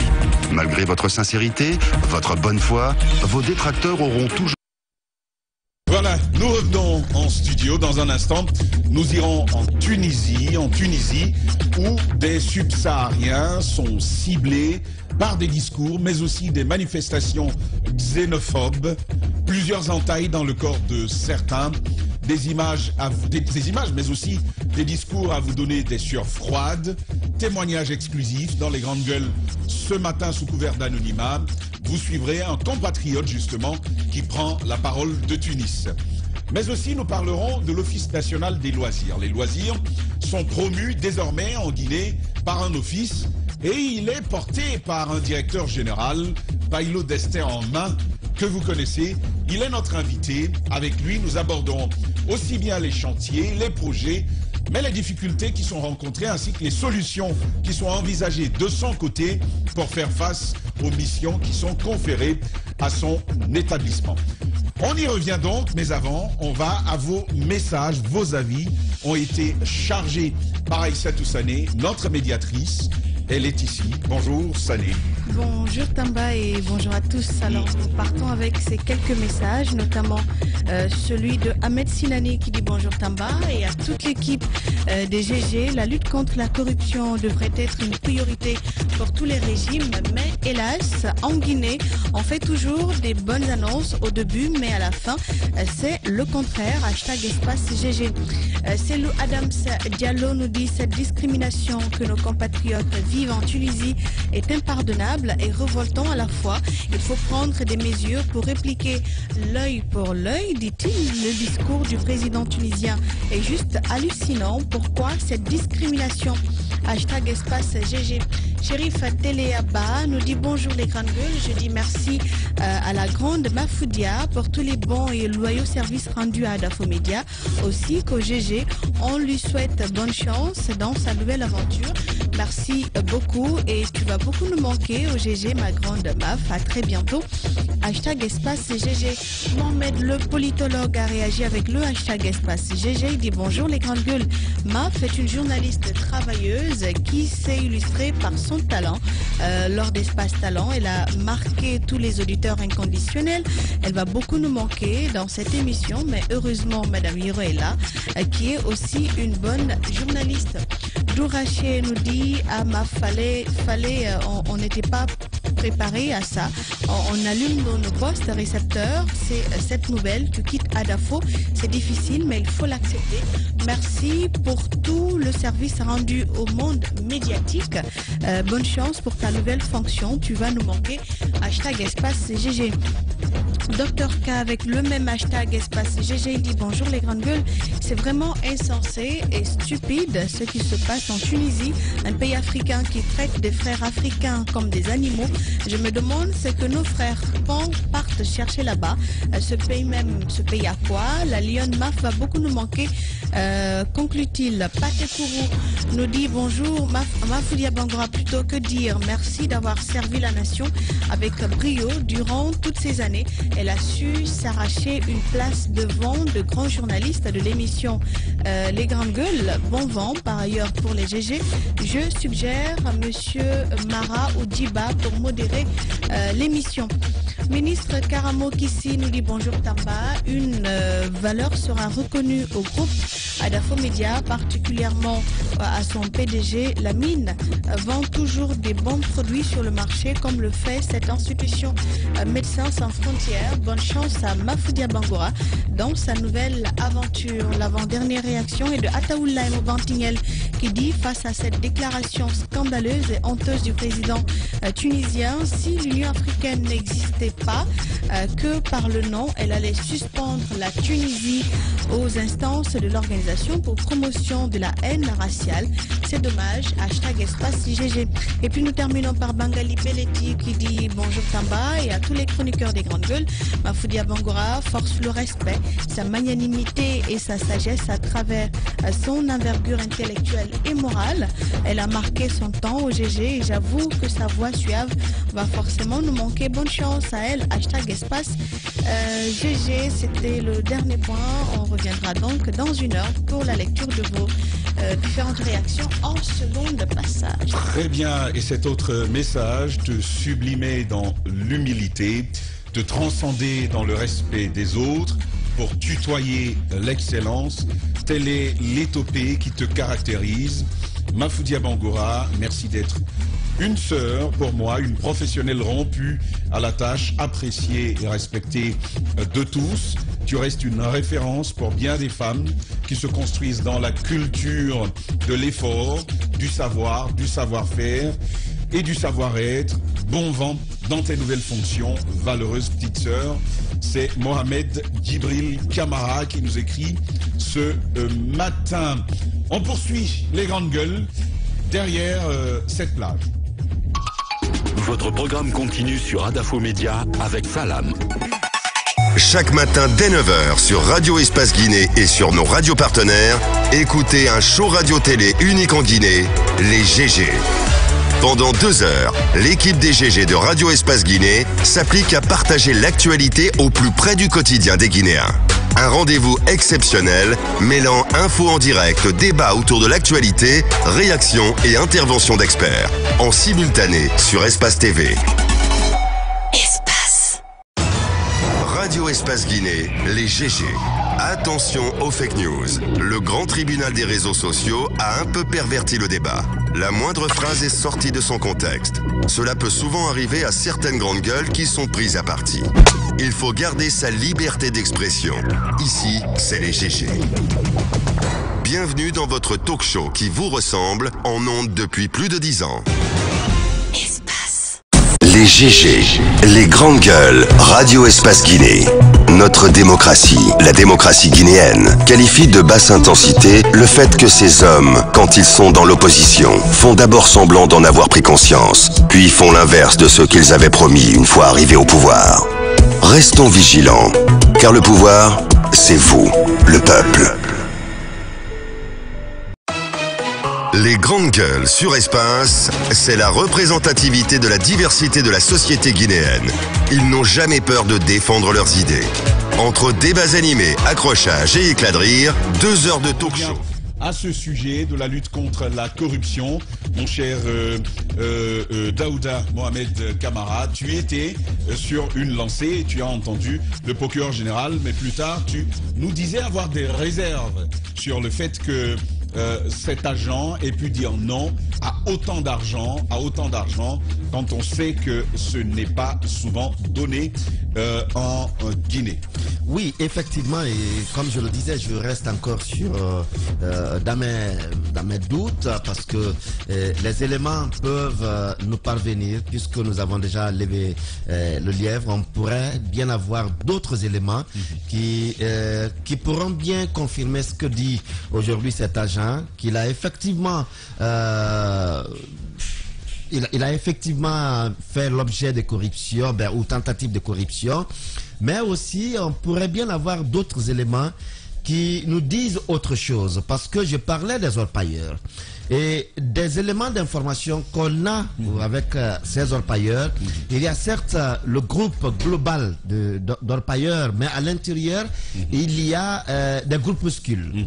Des groupuscules aujourd'hui, euh, une partie qui euh, pourrait bien se montrer comme euh, celle qui, euh, qui se battrait effectivement pour euh, le, le- le- le respect des, des normes dans l'exploitation de, euh, de l'or ou même autre, autre activité. Mais il y en a d'autres également qui ont des je vais dire, qui ont des côtés cachés dans cette affaire. Parce que ce sont des, des Indiens et il y a beaucoup d'argent. Aujourd'hui. Ils sont certes dans l'exploitation, mais il y a beaucoup d'argent qui, qui, qui, qui- qui est aujourd'hui en jeu. Et que certains, dans le même groupe des orpailleurs, et travailleraient, travailleraient aujourd'hui dans le sens de coûte que coûte vouloir euh, voir ces, ces Indiens quitter le pays, parce que en les voyant quitter de la sorte, il peut y avoir des, des retombées qui puissent leur permettre mais- de vivre mieux. Mais il y a- peut-être une autre grille de lecture que je te propose. C'est- C'est aussi celle qui consiste à dire que les orpailleurs eux-mêmes euh, euh, sont en train de, de mettre la pression autour de, de- de l'État, en particulier autour de l'ANLC, pour obtenir la libération des, des promoteurs de cette, euh, de cette entreprise. Effectivement, c'est ce que je dis. Je dis ces orpailleurs, en, en- en leur sein, il y a, il n'y a pas que le seul groupe. Il y a D'accord. certes le groupe, D'accord. le grand groupe, mais à l'intérieur, il y a des groupuscules qui chacun euh, serait aujourd'hui En gros, train en gros, il y a la, la démarche de l'association. L'association. Des orpailleurs. Mais à l'intérieur- il y a des, des groupes rivaux, disons les des, choses des clairement. groupes rivaux, des voilà, groupes des d'intérêt. groupes d'intérêt qui sont à l'intérieur, qui chacun aujourd'hui serait en train de, de travailler pour atteindre son objectif. Et les objectifs, il y a l'objectif euh, global, comme je le dis, l'objectif présenté, c'est-à-dire il faut s'associer avec l'État pour aller dans la lutte contre la corruption, mais il y a des manœuvres qui vont effectivement dans le sens de la corruption parce que les intérêts peuvent être, peuvent être touchés. Je crois que euh, je suis bien aujourd'hui pour euh, euh, lever le chapeau pour ce- cet agent qui a pu résister à, cette, euh, à cette tentative de corruption. Mais je reste encore avec euh, ma réserve d'avoir tous les éléments et parce qu'il pourrait bien y avoir des surprises qui ne pourraient pas être forcément des surprises heureuses. qui pourraient pas forcément être des, surprises, des, des surprises heureuses, comme tu le dis. Euh, oui, Jacques, euh, un, un plus sur ce sujet. Oui, mon, mon propos c'est de dire quoi? Euh, C'est pourquoi j'ai dit, euh, je, moi je, je rends responsable la justice. C'est à elle de rassurer. Que ce soit pour euh, la tentative de corruption. Ou alors euh, euh, pour euh, l'impôt, donc l'impôt que la société devrait à, à- à l'État à l'État guinéen. Et je crois que euh, selon les informations qu'on a de part et d'autre, aussi bien du côté du parquet général et du côté de l'ANLC, on n'a pas d'éléments qui disent que la société ne doit pas à l'État. C'est déjà effet. quelque chose qu'il faut noter. C'est un fait. Ça, c'est un fait. Les- Mm. La société doit à l'État. Là où il y a des interrogations, c'est combien? Et pour cela, on est en train de euh, recruter un cabinet, si ce n'est déjà fait, pour réévaluer le chiffre d'affaires et en fonction de ça, on détermine combien exactement la société doit à l'État. Moi, que ce soit les agents de l'ANLC, ou alors euh, du côté du parquet général. S'il y a des gens qui profitent de cette situation pour euh, verser dans la corruption, ils doivent être identifiés et sanctionnés. D'abord identifiés, dénoncés pour que tout le monde sache qu'ils ont fait ça, mais ensuite condamnés. C'est de cette façon qu'on peut encourager la lutte. Parce que ça, ça doit être clairement dit. On n'est pas en train de dire que oui, euh, peut-être les gens de les agents de l'ANLC sont, sont totalement sont blancs, non. Mais c'est au ministère de la Justice, donc à travers ces instruments. Mais donc, ce, parquet, tâtonnement le tâtonnement, pas bon. le tâtonnement qui ne rassure Il pas. n'est pas bon. Parce que une fois que vous dites, nous sommes en train d'enquêter, nous reviendrons avec des éléments. Pourquoi ne pas d'abord faire ce travail avant de faire une annonce de poursuite? Parce que si vous n'avez pas tous les éléments à, à- à votre niveau, vous ne devez pas dire que vous poursuivez quelqu'un. C'est lorsque vous avez tous les éléments de doute, aussi bien sur la base des témoignages, mais surtout sur la base d'éléments de preuve. Par exemple, l'argent qu'on aurait versé dans un compte qui ne serait pas le compte de la BCRG, il y a donc un document qui le prouve, vous le présentez, vous dites, sur la base de ce document, nous estimons que c'est du détournement des deniers publics. Parce que l'argent doit aller dans le compte de la Direction nationale des impôts, donc logé à la Banque centrale de la République de Guinée. Pour l'instant, le seul élément que nous, nous avons et que nous considérons comme être l'élément clé de cette histoire, c'est bien sûr euh, la facture de paiement, donc de la transaction de, de Ecobank. Euh, au compte du receveur spécial de la banque euh, de, de la direction nationale des impôts logé donc à la banque centrale. S'il y a un autre élément contraire qui existe, il revient donc au parquet général qui est à l'origine de cette euh, lettre euh, qui annonce des poursuites de le brandir ou tout au moins même si nous on ne le brandit pas, mais qu'on puisse le présenter devant les, des instituts des juridictions pour que cela soit mette en difficulté l'Agence nationale de lutte Mm. contre la corruption. Mm. Mm. C'est comme ça qu'il faut procéder aujourd'hui. Il faut, encore une fois, je le dis, que le ministère de la Justice, les parquets qui travaillent sur la lutte contre la corruption et beaucoup d'autres dossiers rassurent. Parce que s'ils ne rassurent pas, ils ne pourront pas lutter contre la corruption. Ils ne pourront pas dans, encourager dans la ce lutte. dossier, je, je vais juste placer ça. Dans ce dossier, il y a la question des rationalités, il y a la question des mobiles. Nous le faisons tous les matins. C'est-à-dire que quand un informateur te donne une information, ce que nous nous faisons, on se pose d'abord la question de savoir quel est l'intérêt qu'il tire à me donner cette, Cette information-là. information, Je pense que ce processus-là a été enclenché par une dénonciation. Mais ce- cette dénonciation procédait de quoi? Euh, que- Question bien simple. C'est effectivement, et avant que Mohamed Mara ne prenne, ne Mm. prenne enfin la parole, et c'est que j'appuie bien ce que Jacques a dit. Mm. Parce que c'est seul à la justice aujourd'hui Mm. de nous dire effectivement, il y a eu tentative de corruption, Mm. ou il n'y en a pas eu vraiment, ou il y a eu corruption par ceci ou par, par, euh, par tel. Mm. Mais aujourd'hui, qu'on qu'on se limite seulement à nous dire, on a des éléments, et ça ne nous rassure pas trop.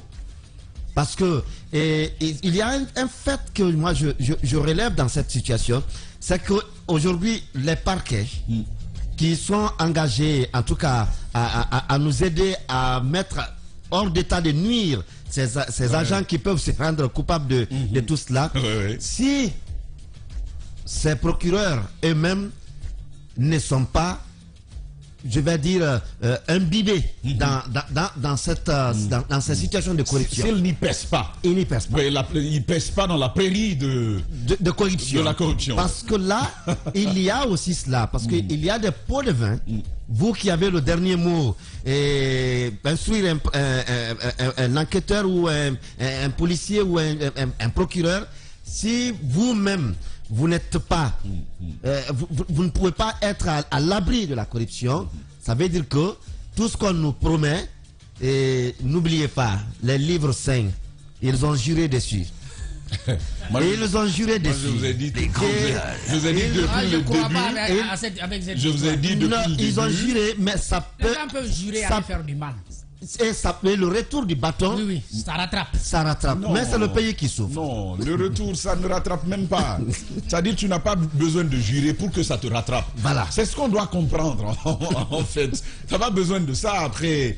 Euh, ouais, voilà. On- En tout cas, c'est ce qu'on a dit. Hein, c'est, est-ce qu'on peut donner un plat de riz à un ministre qui va en mission à l'intérieur du pays? Oui, on peut. Mais le ministre en le prenant, c'est, euh, avec, les, avec euh, les vertus. Nous, nous on n'aime pas les problèmes. Hein? On n'aime pas les problèmes. C'est pourquoi je vais mar- marquer une pause et on revient dans quelques secondes. Voilà, on s'en va.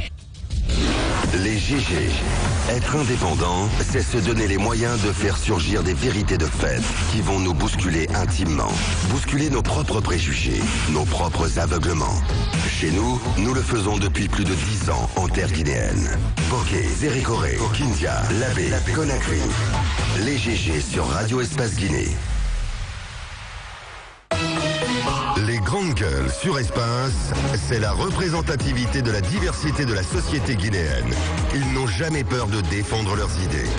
Entre débats animés, accrochages et éclats de rire, deux heures de talk show pour parler, décrypter et débattre de l'actualité et des véritables préoccupations des Guinéens. De 9h à 11h sur Radio Espace et en simultané sur Espace TV.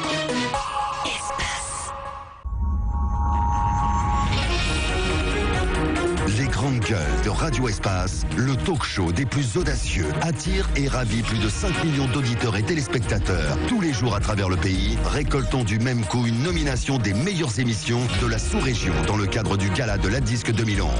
Et plus encore, c'est l'émission de référence en Guinée qui connaît un succès sans précédent. Les GG fracassent le record d'audimat en Guinée, à suivre tous les jours sur l'ensemble du réseau Adafo Média. Les GG, ou l'arme de la bonne gouvernance. Les grandes gueules. Tout sur les dessous de l'actu. Ici, l'actu rime avec liberté de ton sur Radio Espace.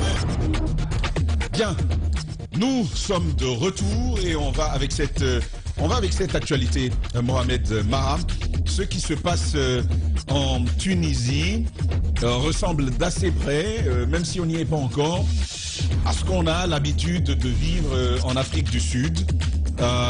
Des discours, mais des discours, on passe aux actes. La xénophobie euh, se vit à plein tube au- aujourd'hui. Des Guinéens en particulier, je parle des, des subsahariens, mais des Guinéens aussi sont parfois pris à partie et avec des images euh, qui donnent euh, froid, qui donnent des sueurs froides. Mara. Malheureusement, et moi je suis quand même étonné parce que, vous savez, la Tunisie est un pays qui a une tradition très très très ancienne euh, d'immigration. Euh, le pays il est connu pour cela. D'ailleurs, n'oubliez pas que le premier nom de ce pays, justement, c'était Afriquia. Ça veut dire justement Afrique. C'est même ça leur nom euh, d'origine. Mais quand vous remontez à plus loin, comment la- le pays a été formé, c'est un pays ici quand même d'importants brassages euh, à la fois, à- en fait, je dirais, euh, ratio-culturel, j'ai j'ai envie de dire. Et plusieurs communautés venues de tous les horizons, noires, euh, européennes, arabes, euh, euh, orientales, se brassent là et sont devenus quand même le peuple qu'on qu'on connaît. C'est aussi un pays qui, depuis l'indépendance, est très très ouvert parce que euh, c'est un pays qui a énormément investi dans l'éducation, dans, dans la santé. Je crois savoir, sauf erreur, euh, de ma part, que c'est l'un des tout premiers pays au monde en matière de tourisme de santé. Euh, vous arrivez par exemple à Tunis, euh, la ville est remplie de, de, de comment on appelle cela, de, de cliniques, mais partout, mais partout. Vous ne dépassez pas un quartier sans voir deux, trois cliniques, mais de, de haut standing. Euh, vous voyez là des praticiens qui quittent la France. En fait, ils peuvent faire deux, trois allers-retours par semaine. Ils quittent la France, ils viennent opérer en Tunisie, ils retournent à leur cabinet de, de la France. Des gens qui viennent d'un peu partout. Par exemple, quand vous avez des problèmes dentaires, ça coûte excessivement cher en France. Prenez votre billet d'avion qui ne vous ah, dans certaines périodes de, de l'année qui ne vous coûte même pas une centaine d'euros, vous venez, vous faites euh, opérer là, vous faites traiter vos dents là, vous retournez. Le pays connaît cela. Et en matière de tec- technique euh, de santé, ils sont vraiment à la pointe. C'est un peu comme l'Inde, euh, c'est vraiment deux pays références. Donc, vous avez là toute l'Afrique pratiquement qui se draine en Tunisie. D'abord des étudiants de très très fortes communautés euh, subsahariennes qui sont là. Qui sont là, rares sont les pays qui n'ont euh, subsahariens qui n'ont pas d'ambassade là, parce que les étudiants sont là, étudient euh, en Tunisie, euh, des- une éducation, en fait une formation de très belle facture, euh, et, et- et quand même à des coûts beaucoup plus accessibles que si vous traversiez la Méditerranée pour aller en France, en Belgique ou ailleurs. Donc, ils sont habitués quand même à voir les subsahariens. Eux-mêmes, au sein de leur population, il y a une minorité subsaharienne. Alors, on ne comprend pas aujourd'hui cette euh, poussée subite de violence. Tout, tout c'est réparti de- du- d'une affaire au sein de la communauté ivoirienne où quelqu'un a été assassiné et puis des, bagarres entre, euh, je ne dirais pas clans, mais entre groupes euh, rivaux autour de, de- de cette, euh, de, ce- de cette suspicion d'assassinat. Malheureusement, c'est allé trop loin. Des voix montent au créneau pour dire que non, les étrangers ont rempli le pays. Vous savez aussi que c'est un pays de transit, notamment pour, euh, parce qu'il y a des passeurs quand même le long des côtes tunisiennes qui aident à traverser pour aller en Europe, euh, notamment. Et pratiquement, euh, moi je me rappelle lors de ma dernière visite, j'étais à peine arrivé, j'apprends qu'il y a eu naufrage. Et d'ailleurs, malheureusement, il y avait, je crois, deux Guinéens dans, dans cette barque-là qui s'était renversée. Donc, ils sont quand même habitués au noir.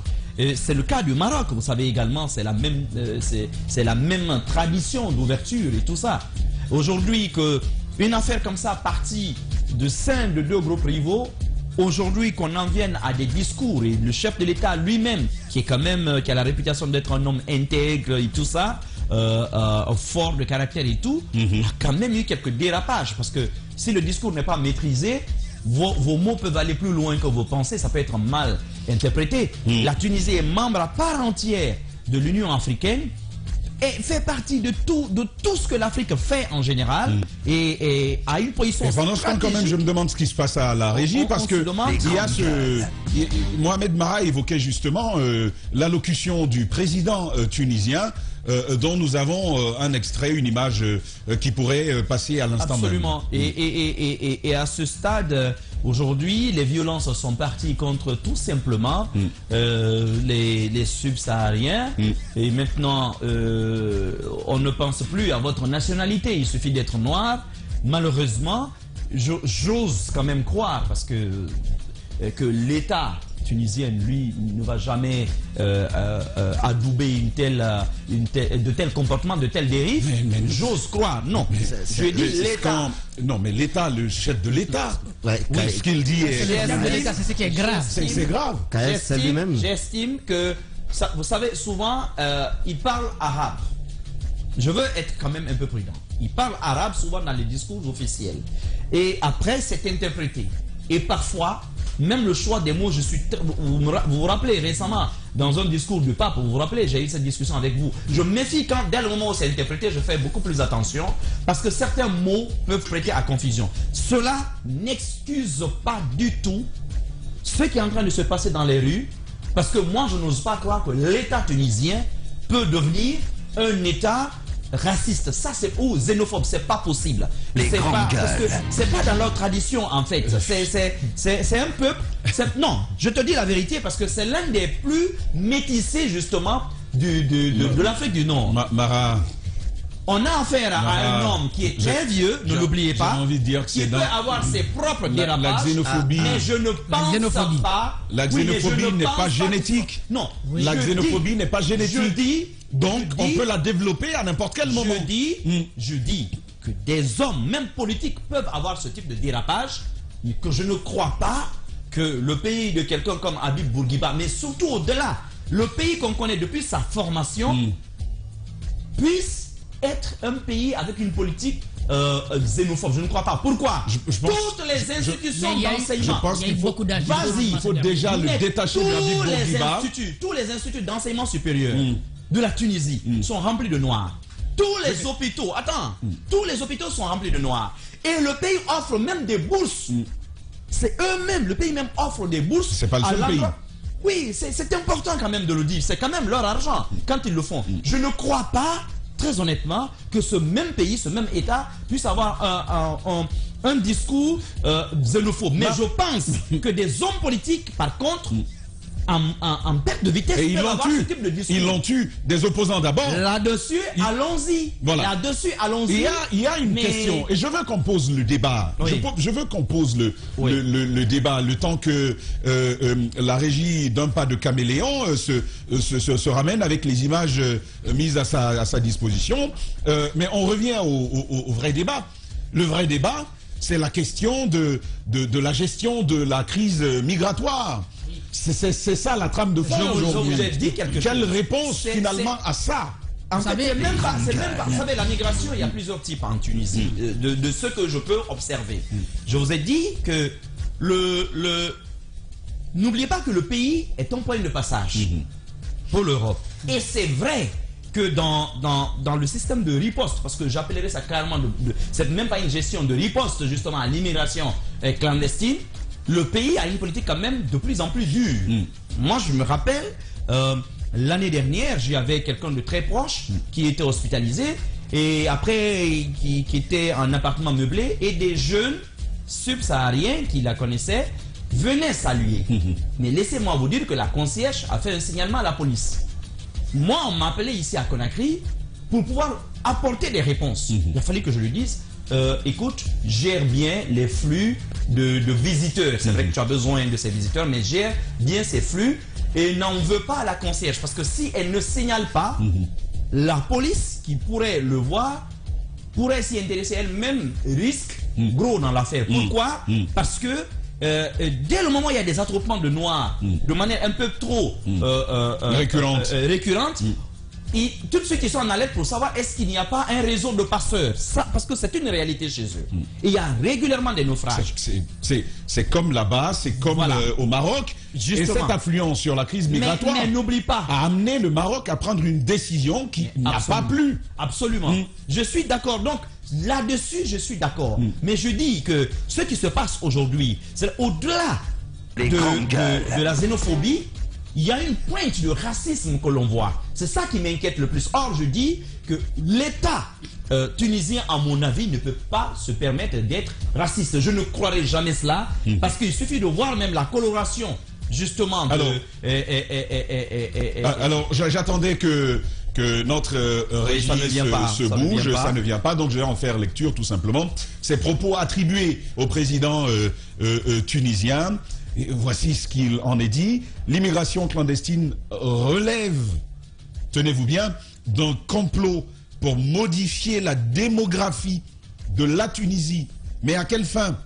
Afin qu'elle soit considérée, on parle bien de cette démographie, comme un pays africain unique- uniquement et non un pays arabe et musulman. C'est le président tunisien qui, semble-t-il, tient ses propos et c'est le 21 Ça m'étonnerait. février et en. Conseil de sécurité nationale. Ça m'étonnerait qu'il ne dise ces propos, ces propos viennent donner un écho à ceux préalablement tenus par des acteurs politiques sur ce sujet. Oui, ça, il faut être clair là-dessus. Vous savez, généralement, quand il y a, partout où il y a ce débat sur l'immigration, généralement, il parle de quelque chose. Il parle soit des questions d'emploi ou euh, des questions sécuritaires. Et pour le cas de la Tunisie, ce qui est mis en avant, c'est, ce sont des questions sécuritaires. On pense que les subsahariens sont responsables aujourd'hui de l'insécurité de plus en plus grandissante dans le pays. Donc, c'est ce qui est invoqué. Vous avez parlé des politiques, mais des éditorialistes aussi qui viennent et qui ne se gênent pas. disons de des dire- journalistes, carrément. Des journalistes, donc, qui disent clairement dans les médias de grande écoute et qui ne sont pas poursuivis pour cela que euh, les, les subsahariens ont justement cette politique en vue, c'est-à-dire transformer la démographie de la, de la Tunisie pour que ça ne soit plus euh, perçu comme un pays, euh, un pays arabe. Ce sont quand même des, des choses. à ma foi très grave, et, parce qu'on on donne quand même euh, des chiffres. On, pa- on- on serait passé de 100 000 à plus d'un million Mm. aujourd'hui de, de- de migrants qui, euh, euh, qui arrivent tout le temps de l'Afrique subsaharienne et qui euh, viennent compliquer des choses dans la situation actuelle du, du pays. Caïd, il ne peut, pas- il peut pas y avoir d'excuses euh, pour, pour, pour C'est lui. pas possible. C'est pas une question d'âge forcément. Eh eh ben, c'est- maintenant, on peut bien voir euh, l'image du, président euh, euh, tunisien, à présent même euh, à la télé, mais on a aussi d'autres images euh, assez glaçantes, assez glaçantes, des, images de, de Yahya, ce Guinéen, qui, euh, on va avoir le témoignage tout à l'heure euh, d'un de, de nos compatriotes, euh, qui, qui va nous expliquer comment ce Guinéen a été poursuivi et entaillé justement par une horde de, de Tunisiens en colère. Jacques. Oui, des, des propos comme ça, certains vont sûrement nous taxer des racistes, certes, et loin de nous toute idée ségré- ségrégationniste, parce que la Tunisie a été de tout temps euh, une terre d'accueil et de coexistence pacifique, mais le flux de subsahariens depuis la révolution, donc euh, vous comprendrez euh, pourquoi, euh, est vraiment inquiétant, surtout que La- c'est la un... dernière révolution en Tunisie. La révolution de 2011. Mm, mm. Donc, c'est un, un plan ourdi par des forces occultes qui ont des dessins aussi vieux, vicieux que destructeurs. La Tunisie ne comptait pas plus de 120 000 résidents étrangers en janvier 2011. Et tout d'un coup, et depuis cette date, on a observé un afflux inquiétant de nos frères africains, dont certains sans raison valable de quitter leur pays. Un peu plus de 10 ans après, le nombre a gonflé d'une manière inquiétante et on parle aujourd'hui de plus d'1,2 million de subsahariens. Et certains avancent même sur les réseaux sociaux que les pays européens font pression sur la Tunisie pour accueillir près d'un million de subsahariens menacés d'expulsion d'Algérie. Donc, la première excuse, parce que lorsque qu'il y a eu cette révolution, d'ailleurs il- on a, on a connu ce qui s'est passé en Égypte après, ils ont, Mm. ils ont eu besoin d'un coup d'État après pour euh, régler des, Mm. des choses. En Libye, on sait ce qui s'est passé. En Tunisie également, il y a... Libye, parce qu'il y avait des plein de Noirs qui étaient en Libye. Moi, j'ai un ami. Quand on a ouvert des prisons, on a vu j'ai- le- le- oui, ce oui, même en dehors de ça, même des résidents. Moi, j'ai par exemple un ami qui était là il y a quelques mois encore. Lui, il est né en Libye et tout, tout, tout. Mais justement, avec la guerre en Libye, ce sont des populations qui sont venues s'installer. Parce que lui, il te parle l'arabe, euh, toutes les, toutes les dialectes de l'arabe. Ils, ils sont venus s'installer en Tunisie. Donc, ce sont des gens quand même qui sont là-bas avant. Donc, il y a- il y, a tous ces flux-là. Donc il y a eu, euh, il, il y a eu de l'espoir quand même après le, le printemps arabe. Maintenant, ce qui s'est passé, c'est que finalement, il y a eu euh, de la désillusion, comme c'est le cas souvent en Afrique, même si euh, et ils ne se prennent pas beaucoup pour euh, africains à tout point de vue. Et- mais il y a souvent ces, ces problèmes-là. Le, le président, il y a eu d'abord des histoires avec le, le Parlement, et maintenant l'excuse qu'on sort derrière euh, euh, les questions de développement et les questions de sécurité, c'est de dire c'est les autres. Vous, vous savez, il y a ce type, ce type de discours euh, vers l'extrême, du côté de l'extrême droite en Mm, France. mm. Euh, Mais- mais le oui, problème, ça reste une excuse, Le, une problème, c'est excuse- les autres. une excuse politique. excuse- Une excuse, Parce qu'on n'a pas su apporter les réponses Voilà, que une le- excuse, le peuple attend. Parce qu'on n'a pas su apporter des réponses. Parce qu'il y a eu de l'espoir quand même. Il y a eu euh, des transitions démocratiques entre-temps. Maintenant, celui qui est là, maintenant, il s'est dit que euh, si j'ai des problèmes, si j'ai des soucis à répondre à la demande sociale, c'est parce que nous sommes envahis par les subsahariens qui viennent passer euh, par là ou qui résident ici sans raison valable. Il va jusqu'à dire qu'on va durcir, n'est-ce pas, les mesures en, en- en raison bien en- sur la, la loi pardon sur euh, l'immigration.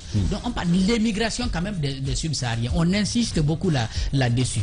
Mais en même temps, moi, ça m'interpelle et ça devrait interpeller nos Et dirigeants c'est le sens de la question que j'allais Ça poser, devrait Jacques. interpeller. C'est vrai que euh, un- nous sommes dans un village, comme on dit, euh, gros village planétaire. Le monde est, il s'est mondialisé, euh, toléré la tautologie. Mm. Mais quelle réponse finalement on, on- on- on apporte au niveau des départs hein, à la question C'est de la ça- c'est ça migration la- C'est ça, la question parce que le, le débat il est toujours tenu ici. À chaque fois que vous entendez les dirigeants subsahariens en parler, je- à chaque fois ils disent euh, nous attendons des réponses de l'Europe ou nous attendons des soutiens de l'Europe. Je pense qu'il faut qu'ils prennent leurs responsabilités aujourd'hui. Parce que même en Guinée ici, vous voyez beaucoup, combien de nos compatriotes partent aujourd'hui en Tunisie juste pour se faire soigner. C'est parce que tout simplement, on n'arrive pas à mettre en place ici des, des- des établissements sanitaires de qualité qui peuvent prendre en charge certaines pathologies. Ça, ça doit interpeller nos vrai, dirigeants. c'est vrai. Ça doit interpeller nos dirigeants. C'est vrai, on va, on va dénoncer le- la xénophobie de la part euh, des, des Tunisiens et de l'État tunisien, puisque le discours a été tenu par le président euh, Caïd. Mais en même temps, c'est vraiment une interpellation de la part, euh, en tout cas en direction de, de- de nos dirigeants subsahariens. Et, et pour, le, pour apporter plus, pour être plus précis sur le sujet, un compatriote en Tunisie dont on va garder le, le nom euh, secret est en ligne. Euh, euh, bonjour, euh, chers compatriotes. Les grands. Bienvenue, euh, bienvenue donc euh, aux grandes gueules de ce matin. On va avec euh, vous, Jacques, pour la première question. Alors, dites-nous d'abord, monsieur, euh, ce dont vous avez été personnellement victime en tant que, euh, en tant que subsaharien donc dans, dans ce pays euh, euh, en termes de témoignages, mais ce que vous observez aussi autour de vous, ces discours et puis les actions. Euh, tout d'abord, je vais commencer par dire bonjour euh, à la radio Espace et bonjour euh, à la Guinée. Euh, je suis là en tant qu'étudiant, ça fait cela il y a trois ans et demi maintenant. Euh, la- le vendredi passé, euh, je sortais de chez moi. Comme tous les vendredis, je, je ne pars pas au travail, je ne fais absolument rien, je ne pars même pas à l'école de fois, je suis mes cours en ligne, si j'ai des cours en ligne. Euh, je finis de faire euh, mon ablution pour partir à la mosquée. Et là, d'un seul coup, dès que je sors de, de la cour, je, croise, je me croise avec euh, deux pick-up qui n'étaient pas du tout des pick-up de la police. Allô? D'accord, allez-y, on vous suit. Hmm.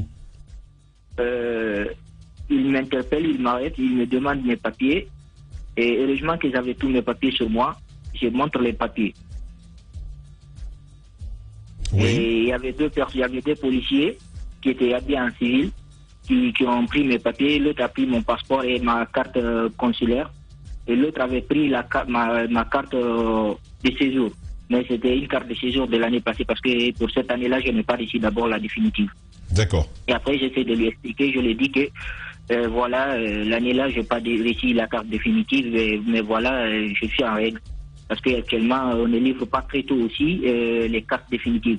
Des fois, tu peux faire ta demande à- pendant le début de l'année scolaire et que tu ne reçois que la carte définitive, disons, à deux semaines ou bien voire même à une semaine de la fin de l'expiration de la carte. Et que ça ne vaut absolument rien aussi, la carte. D'accord. Voilà. Et ça, c'est ça, c'est mon cas personnellement. Ça, c'était le vendredi. Mais moi, même, je me disais que comme il y a beaucoup de, nos frères subsahariens qui sont là, qui, vivent illégalement dans ce pays, qui font de n'importe comment, parce qu'il faut se dire la vérité aussi, il y a trop de délinquants quand même, venant de tous les autres pays de l'Afrique subsaharienne, qui viennent faire foutre de bordel ici. On est vraiment, on est d'accord avec eux pour qu'ils fassent des contrôles et qu'ils vraiment, qu'ils identifient vraiment ceux qui sont là pour, euh, pour des études ou bien pour des soins et qu'ils identifient aussi- pour ceux qui sont là pour euh, d'autres fins. En clair, aujourd'hui, ils ne font pas la part des choses. Il suffit que Ils vous soyez noir, on vous traque. C'est là où je vais en venir. Ils ne font pas du tout au jour d'aujourd'hui. Ils ne font plus la part des choses. Ils ne font plus la part des choses. Ils essayent de ramasser les gens de n'importe comment, même ceux qui sont là pour des soins. Je vous dis, même ceux qui sont là pour des soins ne sont pas épargnés. Maintenant, imaginez-vous un malade qui vient, qui quitte la Guinée, dans l'espoir de venir chercher euh, le traitement qu'il faut, avec tout ce qui, avec toute la souffrance qu'il a eu à endurer, parce que la plupart des patients qui viennent, c'est des gens qui ont vraiment souffert chez nous, qui ont cherché des, médicaments, des, des- des trucs de traitement partout et qui n'arrivent pas vraiment à voir, voir le bout du tunnel, qui se, qui décident d'un beau matin de venir ici. Et la plupart, aussi, je trouve que c'est des gens, c'est, toute une famille qui, a qui contribue pour une personne pour que la personne vienne se soigner. Et que cette, même personne se retrouve, des, disons, dans une prison pour des faits qu'il ne connaît pas. C'est, vraiment absurde. C'est absurde. Là, vous avez peut-être vous avez vu les, informations sur le net ou tout. et là où même le président même s'est prononcé pour dire des choses qui, val- n'en valaient pas du tout. Voilà, c'est la question que nous allions vous poser. Tout ça est parti de quoi? On a entendu le discours du président. On sait qu'il y a des journalistes également qui font des commentaires qui nourrissent ces- ce- ce- cette xénophobie. Euh, mais euh, euh, il y a d'autres acteurs également de la société tunisienne. C'est parti de quoi? Euh, Qu'est-ce qui nourrit chez les Tunisiens ce, ce rejet des autres? un parti- Il y a un parti, il y a un parti nationaliste qui est là, qui, tient des discours, ça fait cela il y a, disons, deux, trois mois de cela, qui continue à passer ces arts de messages dans les, radios, au, vu- et au su de toutes les autorités compétentes, sans aucune réaction des, autorités, qui tenaient ces arts de, propos xénophobes. Ils n'ont jamais été condamnés pour ça, ils n'ont jamais été, disons, interdits pour ça. Les autorités n'ont rien fait. Et le parti continue à, à faire ce genre de propositions xénophobes à l'encontre des, des, des, des- des- Et puis là aussi, il y a une chose que vous devrez comprendre. C'est pas tous les étrangers, pas tous les étrangers. Parce que quand ils parlent des étrangers, il y a beaucoup plus des étrangers, disons, des autres pays, des, pays voisins que des étrangers subsahariens dans ce pays. Justement, c'est à ce niveau, je- voulu poser la question parce que vous avez parlé de nos compatriotes, en tout cas de euh, subsahariennes. Il y a quand même euh, beaucoup plus de communautés euh, marocaines, algériennes et autres en Tunisie que les subsahariens. Est-ce que quand vous parlez de du n'importe quoi, comme vous l'avez utilisé comme terme, euh, des subsahariens, c'est seulement les subsahariens qui sont dans cette situation de, de banditisme et autres, pas les autres Non, euh, communautés? Non, non, non, non, non. Ça, ça, si je vous dis, c'est juste un prétexte. Mais il, il fallait juste quelque chose, il fallait juste un- une petite action qui, qui allait tout engendrer quand même. Sinon, les, les, les, les étudiants, les étudiants qui viennent ici, ils sont beaucoup plus agressés par les par des propres Tunisiens que d'autres communautés. D'accord. Alors, il est prévu, de ce qu'on apprend, il est prévu une marche euh, le, le 26 de ce, de ce mois. Ça, c'est une marche pour euh, euh, demander au gouvernement de, sortir tous les subsahariens de la Tunisie. Qu'est-ce que vous craignez à cette manifestation? Nous craignons beaucoup de choses, monsieur. Nous craignons beaucoup de choses. Moi, là où je suis actuellement, j'ai vraiment peur pour non seulement pour moi, pour moi, mais j'ai beaucoup plus peur pour des personnes qui sont venues pour se soigner.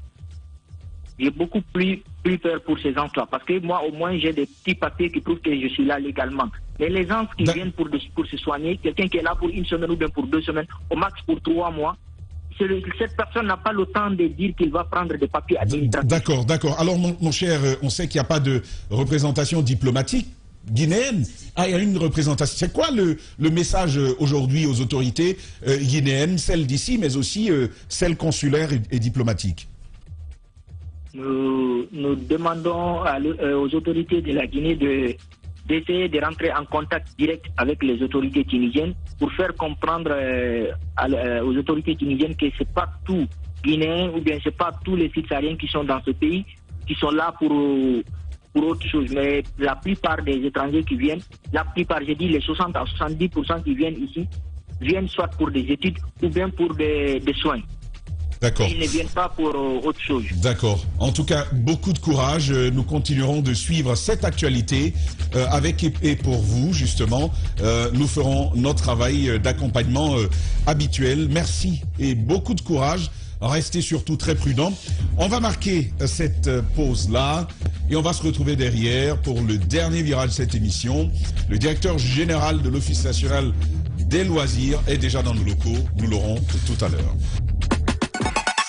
Chaque matin dès 9h sur Radio Espace Guinée et sur nos radios partenaires, écoutez un show radio-télé unique en Guinée, les GG. Pendant deux heures, l'équipe des GG de Radio Espace Guinée s'applique à partager l'actualité au plus près du quotidien des Guinéens. Un rendez-vous exceptionnel mêlant infos en direct, débats autour de l'actualité, réactions et interventions d'experts. En simultané sur Espace TV. Tout le Nabaya, Dans tout le Nabaya, Baté, Mandiana, Sigiri, c'est Radio Espace sur 99. Radio Espace Cancan, la plus cancanaise des radios. Les talents sûrs ne meurent jamais. Quelles que soient les épreuves, les difficultés, les crises, les circonstances, ils arrivent toujours à se surpasser et restent sous les projecteurs. Avec l'audace, tout devient possible. Les plus beaux palmarès de l'audiovisuel guinéen, c'est sur Adafo Média. Adafo Média, le futur, vivons-le ensemble. Radio Espace Guinée, les GG. Attention aux fake news. Le grand tribunal des réseaux sociaux a un peu perverti le débat. La moindre phrase est sortie de son contexte. Cela peut souvent arriver à certaines grandes gueules qui sont prises à partie. Il faut garder sa liberté d'expression. Ici, c'est les GG. Bienvenue dans votre talk show qui vous ressemble en ondes depuis plus de 10 ans. Radio Espace Guinée. Radio Espace Guinée. Amalapouya, Gorée, Koréra, Boubouya, Dabis, Pont de Fer, Solaya, Limania, Katako, Kolaboui, Filira, Amdalaï sur 99.7. Radio Espace Kakandé, la plus bagataille. La plus bagataille des radios. Les grandes gueules sur espace, c'est la représentativité de la diversité de la société guinéenne. Ils n'ont jamais peur de défendre leurs idées. Entre débats animés, accrochages et éclats de rire, deux heures de talk show pour parler, décrypter et débattre de l'actualité et des véritables préoccupations des Guinéens. De 9h à 11h sur Radio Espace et en simultané sur Espace TV. Vivez une fête sensationnelle, mortelle, exceptionnelle Euh, multidimensionnel peut-être? Non, désolé. Ah, d'accord. Ce modèle d'annonce, il n'y a que Adafo Média pour le faire. Pour toute information, contactez-nous 628 06 06 60. Adafo Média. Et si vous commenciez maintenant? Les GG, les grandes gueules, Radio Espace Guinée. Notre démocratie, la démocratie guinéenne, qualifie de basse intensité le fait que ces hommes, quand ils sont dans l'opposition, font d'abord semblant d'en avoir pris conscience, puis font l'inverse de ce qu'ils avaient promis une fois arrivés au pouvoir. Restons vigilants, car le pouvoir, c'est vous, le peuple. Radio Espace Guinée. Les grandes gueules prônent un journalisme de construction démocratique au service de l'intérêt public. Les GG défendent la démocratie. Et la démocratie, c'est aussi des contre-pouvoirs. Nous bousculons un certain journalisme de gouvernement, un journalisme de cour, un journalisme qui est dans la révérence avec le pouvoir. Bienvenue chez vous, les GG sur Espace.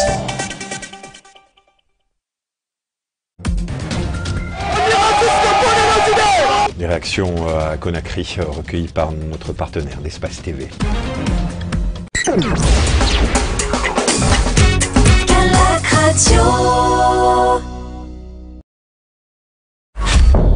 En route pour de nouveaux horizons. Aventure, évasion, rencontre, partage, dépaysement. Voir la Guinée autrement. Pour cette rentrée, nous vous proposons des inédits. Bienvenue sur Adafo Média.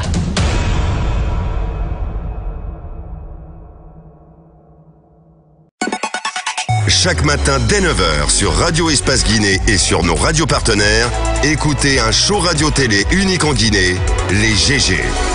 Pendant deux heures, l'équipe des GG de Radio Espace Guinée s'applique à partager l'actualité au plus près du quotidien des Guinéens.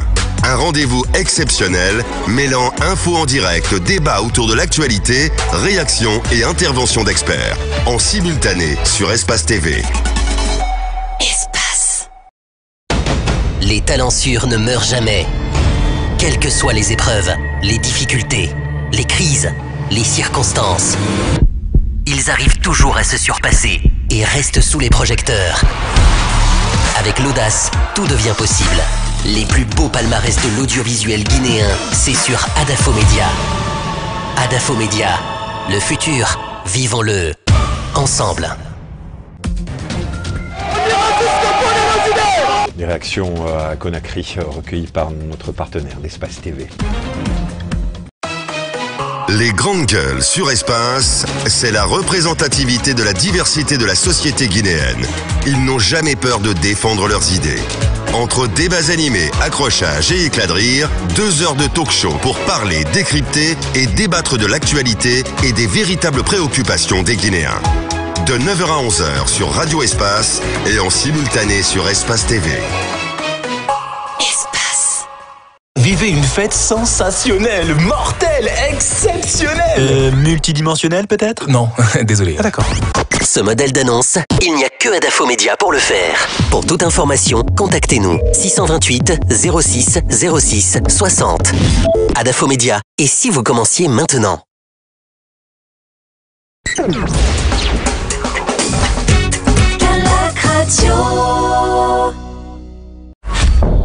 En route pour de nouveaux horizons. Aventure, évasion, rencontre, partage, dépaysement. Voir la Guinée autrement. Pour cette rentrée, nous vous proposons des inédits. Bienvenue sur Adafo Média.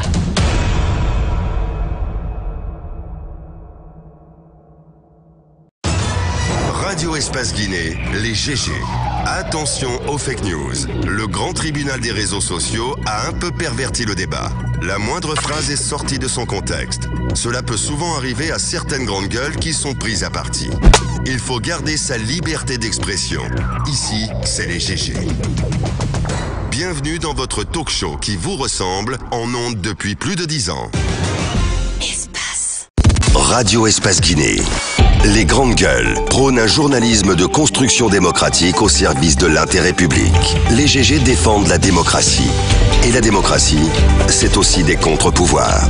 Nous bousculons un certain journalisme de gouvernement, un journalisme de cour, un journalisme qui est dans la révérence avec le pouvoir. Bienvenue chez vous, les GG sur Espace. Radio Espace Guinée. Radio Espace Guinée. Amalapouya, Gorée, Koréra, Boubouya, Dabis, Pont de Fer, Solaya, Limania, Katako, Kolaboui, Filira, Amdalaï sur 99.7. Radio Espace Kakandé, la plus bagataille. La plus bagataille des radios. GG, les grandes gueules, Radio Espace Guinée.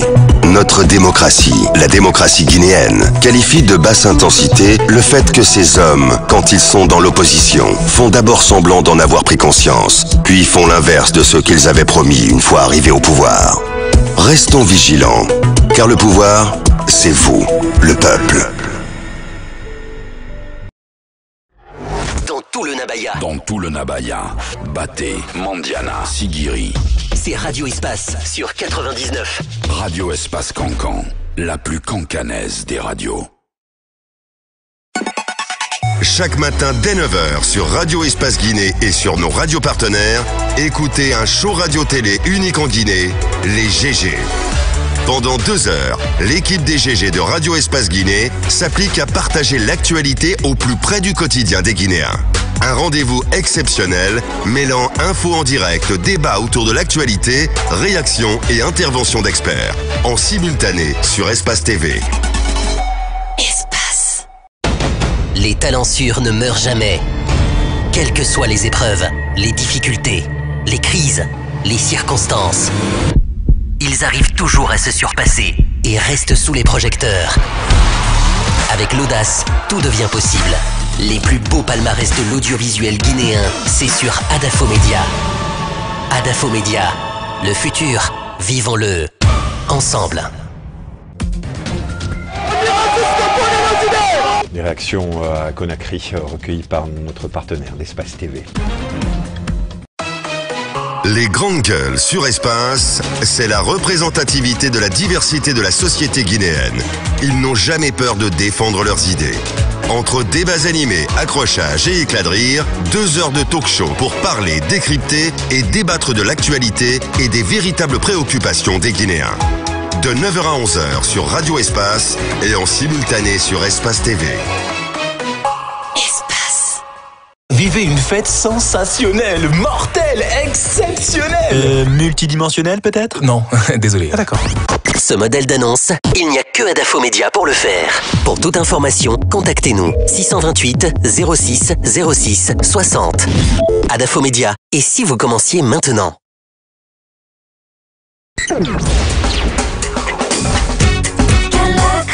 En route pour de nouveaux horizons. Aventure, évasion, rencontre, partage, dépaysement. Voir la Guinée autrement. Pour cette rentrée, nous vous proposons des inédits. Bienvenue sur Adafo Média.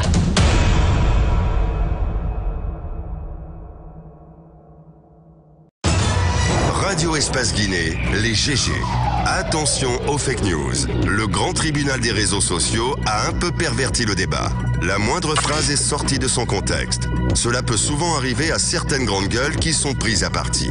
Il faut garder sa liberté d'expression. Ici, c'est les GG. Bienvenue dans votre talk show qui vous ressemble en ondes depuis plus de 10 ans. Radio Espace Guinée. Les grandes gueules prônent un journalisme de construction démocratique au service. Bonjour encore et bienvenue dans ce flash d'information consacré à l'actualité internationale. Et pour se faire entendre, un groupe de jeunes Kenyans torse nu a choisi de faire siège devant le Parlement à Nairobi. Ils sont venus en début de semaine crier leur colère contre l'augmentation du coût de la vie, des taxes et dénoncer dans le même temps l'inaction des députés qui, selon eux, cautionnent les mesures du gouvernement au détriment des Kenyans. Et pour mener la contestation, ils étaient postés devant l'entrée du Parlement, espérant accoster son président Moses Wetangula afin de faire entendre leurs revendications. Mais la contestation a tourné court lorsque la police est intervenue, arrêtant le leader Eric Omondi, un comédien célèbre connu pour ce genre de manifestation. Torse nu, il a été arrêté, de même que plusieurs autres jeunes présents sur la voie menant au Parlement.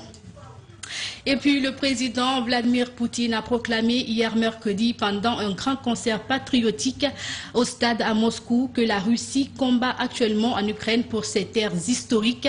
Au cours de son apparition, qui n'aura duré que quelques minutes, le chef de l'État a aussi rendu hommage aux militaires russes déployés en Ukraine qui se battent avec héroïsme, courage et valeur selon l'homme fort du Kremlin. Le concert euh, patriotique euh, auquel M. Poutine a brièvement participé était organisé par les autorités en soutien à l'offensive en Ukraine et ce concert baptisé Gloire aux défenseurs de la patrie intervient à la veille de la journée du même nom et à l'avant veille du premier anniversaire de l'offensive de la Russie contre son pays voisin. La Ligue pour la protection des oiseaux a entamé de nouveaux recours auprès du gouvernement français et de la Commission européenne pour obtenir la, suspension de la pêche dans le golfe de Gascogne au vu de l'augmentation inédite des échouages de dauphins. Cette demande de fermeture temporelle de la pêche doit par ailleurs être examinée demain vendredi par le Conseil d'État après un recours initié par France Nature Environnement. En effet, pour l'hiver 2022 2023, le suivi des signalements des échouages de petits cétacés en Atlantique montre une augmentation sans précédent de mortalité des dauphins et cependant la mesure est fermement combattue par les pêcheurs industriels. Toutefois, il est à souligner que le gouvernement français avait réactualisé en janvier son plan de lutte principalement fondé sur l'installation de détecteurs ou de repulsifs acoustiques sur les chalutiers et les flayeurs. Voilà, c'est la fin de ce flash. Merci à tous de l'avoir suivi. Les GG continuent sur Espace TV. Les grandes gueules sur espace, c'est la représentativité de la diversité de la société guinéenne. Ils n'ont jamais peur de défendre leurs idées. Entre débats animés, accrochages et éclats de rire, deux heures de talk show pour parler, décrypter et débattre de l'actualité et des véritables préoccupations des Guinéens. De 9h à 11h sur Radio Espace et en simultané sur Espace TV.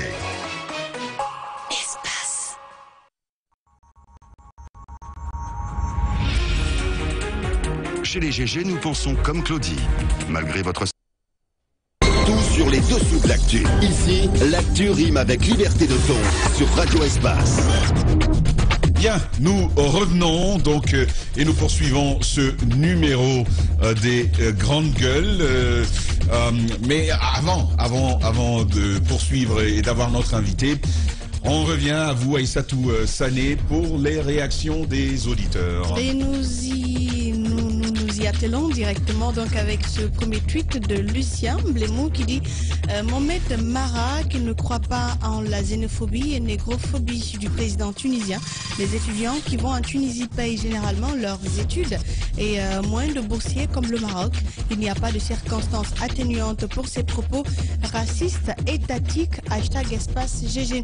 Nous avons également le roi Wizboro qui dit la corruption est un phénomène mondial qui engendre la pauvreté, entrave le développement et décourage l'investissement. Elle fragilise aussi le système, les systèmes judiciaires et politiques qui devraient servir à l'intérêt euh, général. Grosse force à la CRIEF. C'est Paul Farah Ifono. Euh, Bobo Jeune Libre qui dit hashtag espace GG, bonjour les grandes gueules. La corruption en Guinée, c'est l'ordre moral, euh, d'éthique, voire même de l'incivisme. Et dans ce contexte, euh, seule la justice peut nous sauver. Et de cela, elle doit être juste, équitable, impartiale. Vouloir tout pour soi, c'est de l'égoïsme. Nous continuons avec également ce tweet de, ce tweet, pardon, de Alpha Madulé Luma qui dit hashtag espace GG, bonjour les grandes gueules. La corruption a tellement gangréné la société guinéenne au point qu'on est devenu euh, sceptique même quand on nous dit euh, qu'un agent a refusé de se faire corrompre. Vivement une prise de conscience collective en Guinée euh, sur les méfaits de la corruption. L'avant-dernière réaction est de Djibril Souma de Bonkifon qui dit à chaque espace GG bonjour les grandes gueules. Je suis tout à fait d'accord avec Jacques. Euh, Si on veut lutter contre la corruption, il faudrait d'abord que le ministère de la Justice donne meilleur exemple qui puisse rassurer la population. Ce n'est pas en faisant des injonctions ici et là. Et puis nous terminons par Tierno Angelius Lambé qui dit comment voulez-vous euh, que le ministère de la Justice rassure euh, si le ministre lui-même se cache derrière une euh, interférence d'un érudit pensant se dédouaner en annulant une plainte qui devait le lever de tout soupçon d'utilisation de l'argent public à des fins personnelles. Hashtag espace GG et je vous rends l'antenne Tamba Zakari. Mais- Merci Aïssatou Sané. Euh, Mohamed Mara, je pense qu'une reprécision euh, semble s'imposer. C'est c'est justement avec Lucien Euh, Blémou et il y avait déjà une autre réaction dans ce sens. Très honnêtement, Voilà. je, je- je comprends euh, ce que dit Lucien Blémou, euh, Aïssatou Sané, mais il doit comprendre notre profession, surtout quand il s'agit de, de parler de politique internationale ou de politique étrangère. Attention, nous ne pouvons pas parler sans filtre des relations entre les pays. Là, nous sommes en train de parler d'un cas qui est extrêmement grave. On parle racisme, on parle xénophobie. Le journaliste est obligé de nuancer certaines choses. Je le comprends, il y a des choses que lui peut se permettre sur Twitter que nous ne pouvons pas dire ici. C'est pas la même audience. Si nous disons certaines choses de, la manière que lui le voudrait, il va y avoir, oui, il va y avoir des relents au sein des, des- des populations dont les conséquences pourraient ne pas être rattrapées. Donc, c'est pour cela, et ce que j'ai dit est clair. Nous condamnons les propos du, président tunisien, nous fustigeons ce qu'il dit tel quel. Je n'ai même pas parlé du président, mais j'ai parlé de la politique de l'État tunisien. Le président, il n'est là que depuis combien d'années seulement? 2019, il ne faut pas l'oublier. Et il va s'en aller.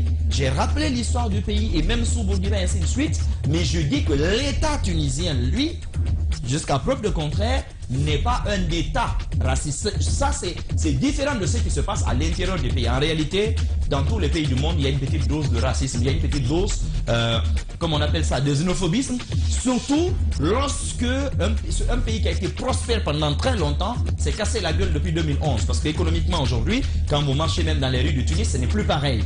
Et forcément, vous avez quand même des gens. Lui, c'est un indépendant qui est arrivé.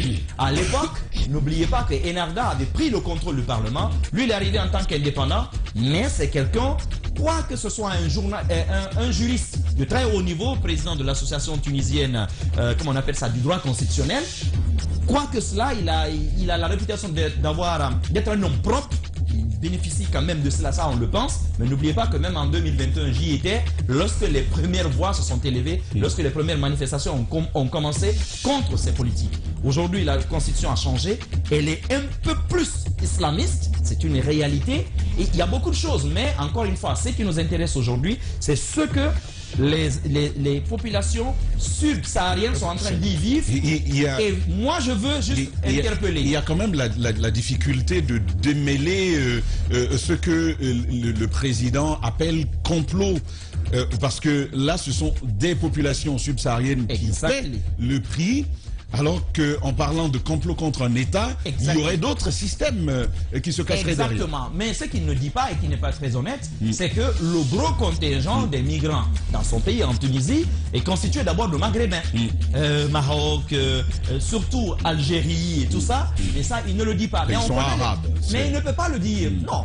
Le fait même au-delà au -delà, euh, de l'arabisme, il y a euh, et, et, il y a des réalités entre ces trois pays que tout le monde connaît. Mm -hmm. Il ne peut pas trop s'aventurer là-dessus. Mm -hmm. Mais c'est là où j'en veux un peu à nos dirigeants. Mm -hmm. Il y a quelques jours à peine, euh, trois, quatre jours, l'Union africaine a quand même été réunie à, à Addis Abeba. Cela, ça aurait été l'occasion d'interpeller justement le président tunisien mm. sur euh, ces questions-là mm. ou sa délégation sur ces questions. Il appartient à nos pays à un moment donné mm. de dire nous posons des questions. Par exemple, des grands ensembles comme la CEDAO, comme la CEMAC et ainsi de suite peuvent monter au créneau pour demander des explications. Mais je dis encore une fois, c'est pas pour rien qu'il y a des images que nous ne pouvons pas passer. Ça, ce sont des règles déontologiques.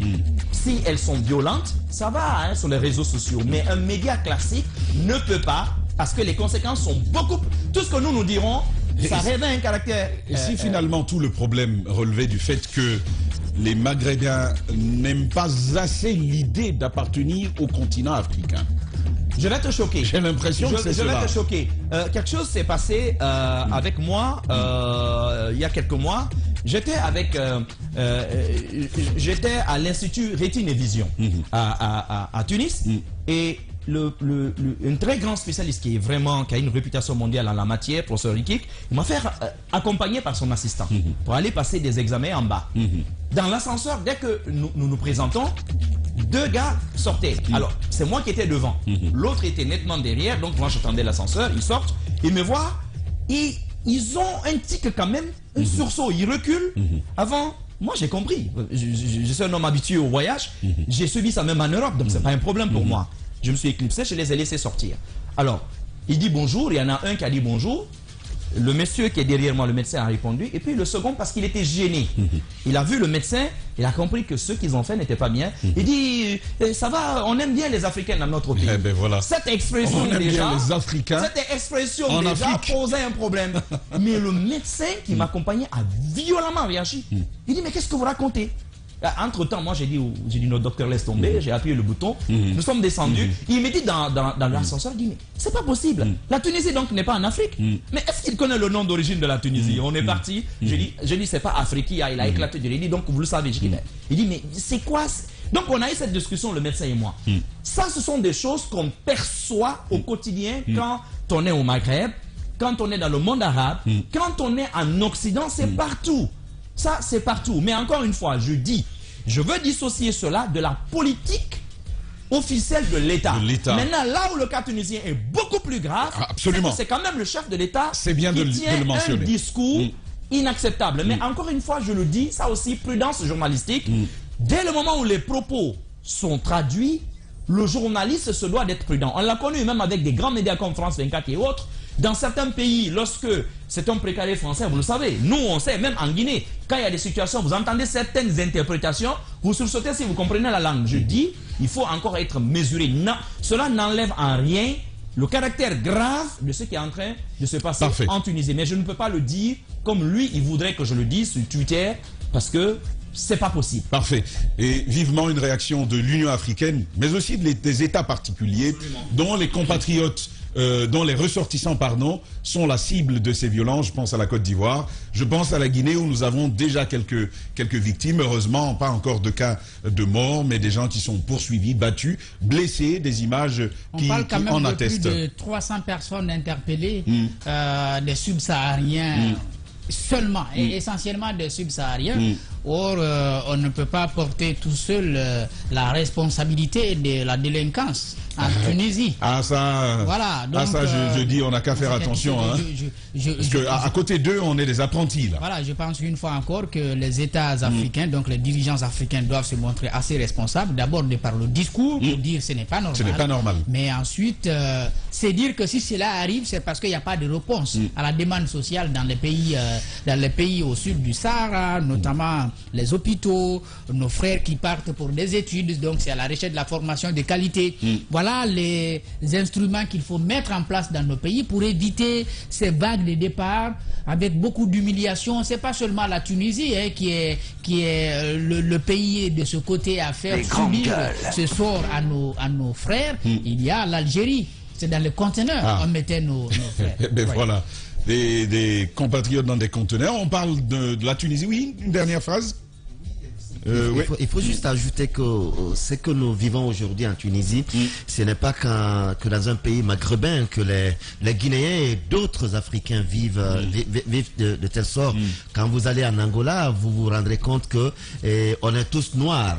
Le Guinéen est noir, l'Angolais est noir, mais eh, il y a aussi des problèmes à ce niveau. Chaque pays, La Guinée en tout cas, chaque- la Guinée équatoriale le Gabon, le Gabon, la Côte d'Ivoire qui vient d'imposer un titre de séjour, De cette fois-ci aux communautaires de la CEDEAO. Voilà. Les pays se protègent. hein. Donc il y a il y a ce problème. Chaque État, euh, c'est de sa responsabilité de d'assurer la sécurité, l'intégrité sur- la ter- question territoriale. du partage de la richesse intérieure. Intérieure. C'est important que ce soit traité. Parce que si nous, nous, nous, abandonnons nos universités pour aller en Tunisie, c'est parce qu'on n'a pas investi dans l'éducation dans notre pays. Et ça Exactement. valorise les Ça- autres universités. ça valorise les autres universités. Donc, nous avons beaucoup de compatriotes aujourd'hui qui, qui sont à la maison. Il y a des universités qui, qui demandent aux subsahariens de rester encore la maison. Mais, mais tu, as Euh, vu le, tu as vu cette offre d'emploi qu'on a commentée il y a quelques années ici? Le monsieur dit euh, préférence pour des diplômes étrangers. Voilà. Carrément, en Guinée. En Guinée. Oui. Donc il y a tout cela. Il faut aujourd'hui. Il a bien fait.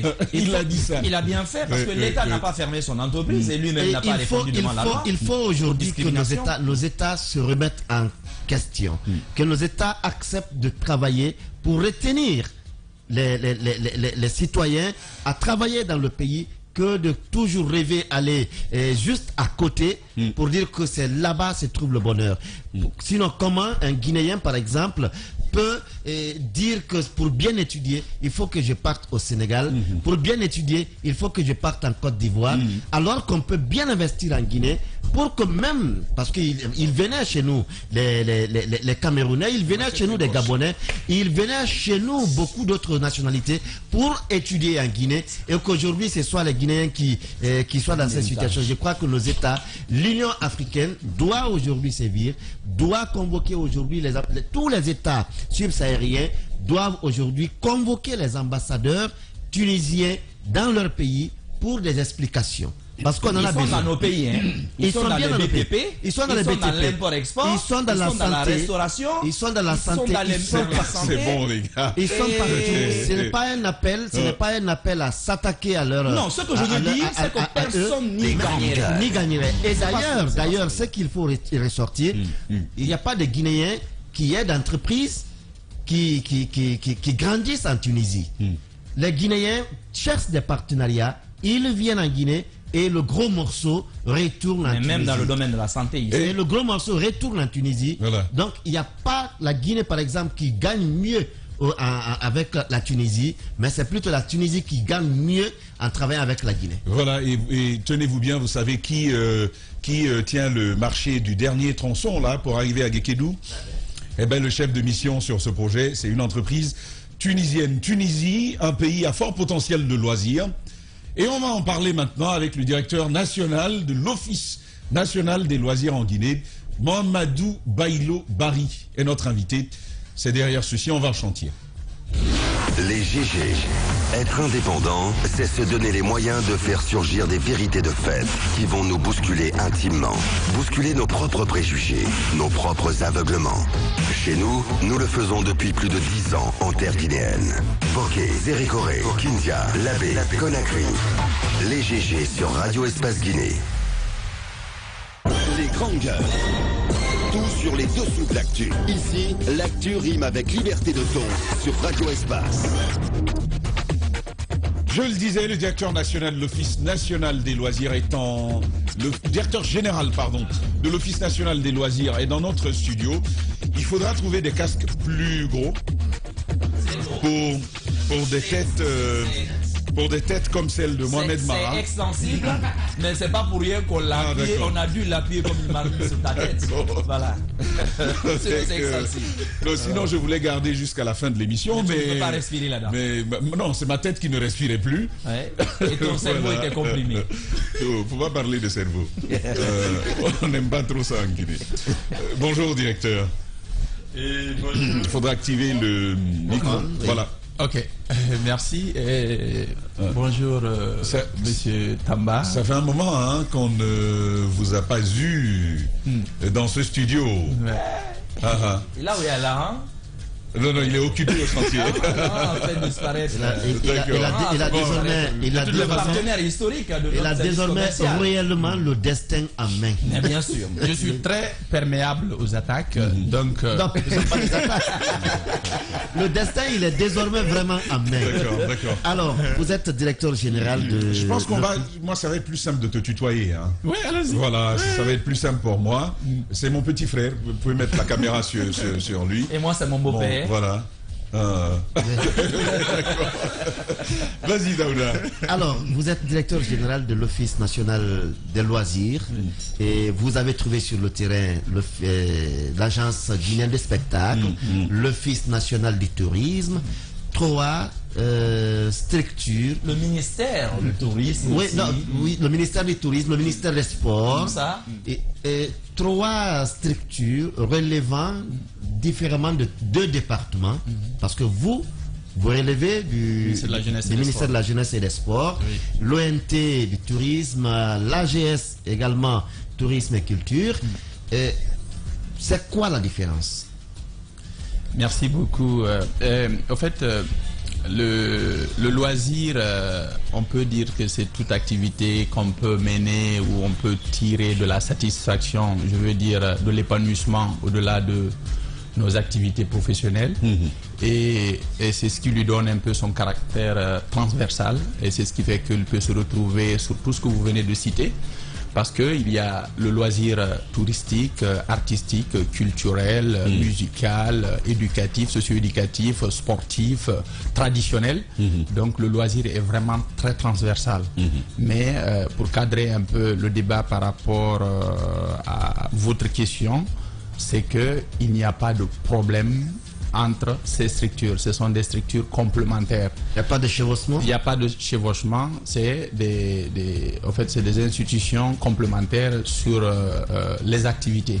Quand vous prenez le tourisme, le tourisme vend la destination. Vous prenez le loisir, le loisir est dans le cadre de l'épanouissement, de la détente. Donc, du coup, il n'y a pas de il n'y a pas de crise, il n'y a pas de chevauchement à ce niveau. Il suffit tout simplement que dans les attributions, que chacun soit situé sur Euh, Les grandes c'est- bien, vous parlez d'attribution. Je vais quand même lire deux textes, deux extraits de textes qui, euh, euh, qui euh, correspondent à vos prérogatives respectives, ONT, euh, ONL. Euh, sur l'ONT, euh, article 16, on parle de ce chapitre qui parle de ressources. Les, pardon, les ressources de l'Office comprennent euh, notamment les frais d'établissement des permis euh, techniques d'exploitation des établissements, hébergements, restauration, de loisirs et de sites touristiques. ONT. Je, je- je vous lis euh, celui de, encore vos attributions, chapitre 2, attributions de l'ONL. Euh, euh, C'est par exemple que l'Office national des loisirs a pour attribution de promouvoir et de réguler les activités de la- de la loisir afin d'en assurer le suivi. À ce titre, il est particulièrement chargé de procéder à la délivrance, au renouvellement, au retrait des agréments de permis d'exploitation de centres et lieux de, loisirs. Non, mais c'est simple. Euh, euh, Expliquez-nous. Non, c'est simple. Mm. Vous savez, aujourd'hui, euh, avec la vision du colonel Mamadi Doumbouya, Mm. le pays est en refondation. L'État est en train de se reformer. D'accord. C'est ce qui fait que ce n'est que le début de, de ces réformes-là qu'on est en train de voir. C'est ce qui fait que ce décret a été pris. Le décret qui a été lu à la télévision nationale Euh, le 13, lundi 13 février dernier. Donc, abrogeant toute disposition antérieure Mm-hmm. contraire. Alors, euh, c'est pour vous dire qu'il y a des réformes à l'interne et il y a. et vous savez, l'Office national des loisirs vient d'être créé. Mm-hmm. C'est une nouvelle direction et personnellement, je suis euh, nouveau aussi dans l'administration, mais c'est de vous dire encore une fois, et dans la vision. Donc ce que vous nous dites, ce que vous nous dites, c'est que désormais, c'est les loisirs, plutôt que le que l'ONT, qui s'occupe de ce type de redevance, c'est oui, ça Oui, oui, c'est de vous dire, oui, je, je reviens là-dessus, c'est que c'est de vous dire encore une fois, et dans le cadre de réforme, euh, les prérogatives de la politique du gouvernement en matière de loisirs revient à l'Office national des loisirs. C'est ce qui fait que ce décret a été pris. Ce décret a été pris, il a été signé dans ce, dans ce cadre-là. Mais encore une fois, ce n'est pas une, euh, un espace pour créer de la polémique. Tout est en train de rentrer en ordre au niveau de, des différentes parce institutions. même moment, Mais je, je voudrais quand même, euh, je Jacques, voudrais quand même parce pour soutenir voudrais- ma question pour terminer, euh, je pars un peu de, de l'activité ou des activités des opérateurs culturels qui aujourd'hui euh, peuvent être euh, amenés à payer auprès de à payer des, des, des- Des redevances. des- des redevances auprès de, de l'AGS, euh, du BGDA, du BGDA, de l'ONT et désormais de l'ONL que vous êtes, mais aussi de l'AGS. Comment les, les, les- opérateurs culturels peuvent-ils s'en sortir avec euh, de telles structures, en tout cas qui peuvent avoir par moment les mêmes visées? Bon, euh, en fait, les choses sont en train de s'harmoniser. Il y, a des- il y a des rencontres qui sont prévues entre ces différentes entités pour euh, s'entendre sur la faisabilité sur le terrain et sur les responsabilités et les attributions des uns et des autres. Comme je vous ai dit, vous savez, les réformes, c'est pas facile. Et lorsque on entame cela, il y avait, euh, c'est comme au sein de mon propre département, au ministère de la Jeunesse et des Sports, les loisirs se trouvaient, euh, il y avait un petit service des loisirs qui était au niveau de la direction nationale des sports et une partie aussi était dans la direction euh, nationale de la jeunesse. Vous voyez? Donc, euh, lorsque euh, cette, euh, ce- cet office a été créé au sein du ministère, donc nous avons récupéré toutes les attributions qui étaient chez les autres pour ramener au niveau de l'Office national des loisirs. Et au niveau global aussi, au niveau du gouvernement globalement pris, et c'est ce qui est en train d'être fait, d'où la prise de ce décret euh, euh, portant attribution, euh, voilà, mission, attribution et fonctionnement de l'Office national des loisirs. Aujourd'hui, encore une fois, c'est ce qui fait que même avant la prise de ce décret-là, et, et nous l'avons toujours dit, on s'est mis à la tâche, mais et ce sont des entités qui sont créées pour répondre aux problèmes des communautés En et non en besoin et non des confrontations à. D'accord. Parce que Je- je- nous je travaillons voudrais- pour un même État, nous travaillons pour un- euh, une même population, donc c'est une synergie d'action de toutes ces directions-là qui pourront apporter un mieux-être aux populations. Voyez-nous, on n'est pas en train de, nourrir la polémique. de nourrir la polémique. Nous voulons juste comprendre, Comprendre et et faire, faire comprendre. comprendre aux auditeurs, oui. Voilà, parce que je je reviens sur euh, justement vos, vos attributions, Mm. Les frais d'établissement des permis techniques d'exploitation des établissements d'hébergement, des restaurations, des loisirs et des sites touristiques. Ça, c'est pour l'Office national du tourisme. Et puis pour euh, euh, l'ONL de procéder à la délivrance, au renouvellement et au retrait des agréments et permis d'exploitation des centres et lieux de loisirs. Donc ce qui n'existe pas chez vous, c'est les sites touristiques, les, les établissements d'hébergement et de restauration. Euh, maintenant, si je comprends bien, les loisirs qui étaient chez l'ONT quittent pour venir chez, chez vous. C'est bien cela? Oui, vous savez, euh, aujourd'hui, Hmm. euh, lorsqu'on parle d'arbitrage, c'est Mm. un peu dans ce sens-là. C'est ce qui fait que lorsque, en fait, la proposition de décret avait été posée, Mm. euh, les autorités au plus haut niveau, quand même, ont essayé de rapprocher les deux directions. Il y, a- il y a une question subsidiaire à celle-là. Oui, Euh, je vais terminer. je dis que les autorités au plus haut niveau ont rapproché les deux directions. D'accord. Nous nous sommes réunis pour discuter autour de tout ça et Mhm. que la chose a été tranchée et positivement pour que les loisirs restent au loisir et le tourisme reste au tourisme. Reste au tourisme. Mais aujourd'hui, encore quoi- une fois, Qu'est-ce qu'on que- appelle établissement de loisirs? Parce que c'est la question que j'allais Mm. poser Mm. tout à l'heure. Qu'est-ce qu'on appelle établissement de loisirs Mm. qui va être différent d'un établissement de tourisme? Vous savez, c'est pratiquement euh, très clair, mais euh, encore une fois, je ne voudrais pas trop m'aventurer vu que les choses ne sont pas complètement euh, D'accord. Je ne voudrais pas m'aventurer pour pouvoir vexer les uns et les autres par rapport à ce qui vient parce que nous sommes dans une phase de construction. Alors, il est important pour les sensibilités des uns et des autres. Et surtout que quand vous partez en arbitrage avec quelqu'un et que les choses sont en train d'aller dans un sens positif, je crois, il faut euh, taire certaines choses pour Mais aller dans que, la est-ce peine, qu'à peine, qu'à peine arrivé, euh, vous ne vous êtes pas croisés sur euh, un même élément, chacun se disant euh, propriétaire de l'élément? Non, bon, à ce niveau, je dirais que nous n'avons pas accepté d'aller dans ce sens. Du moment Non, où- pas que vous Non, acceptiez non. ou que vous initiez. Non, je, vous- je, je mais vous pensez que c'est de vos priorités, euh, de vos prérogatives, je vais dire, mais vous retrouvez les autres là. Non, vous savez, euh, lorsque l'institution est créée sans avoir les attributions, c'est-à-dire euh, la position de la signature du président de la République par rapport à ce décret d'attribution, c'est un peu compliqué de se prononcer par rapport à certaines choses parce que tu n'as pas le droit. Et du moment où que c'est fait, les choses vont rentrer en ordre. Mais encore une fois, il faut de la pédagogie, il faut de la bonne manière pour pouvoir concilier les choses et remettre à chacun euh, sur ses prérogatives et, et, et créer un cadre de collaboration et euh, euh, de complémentarité dans le cadre du service de l'État. C'est extrêmement important. Parce que vous savez, le plus souvent, vous voyez des directeurs se taper dessus ou chose. Et les deux domaines sont très vastes. Quand vous prenez le tourisme, le tourisme, c'est tout un monde.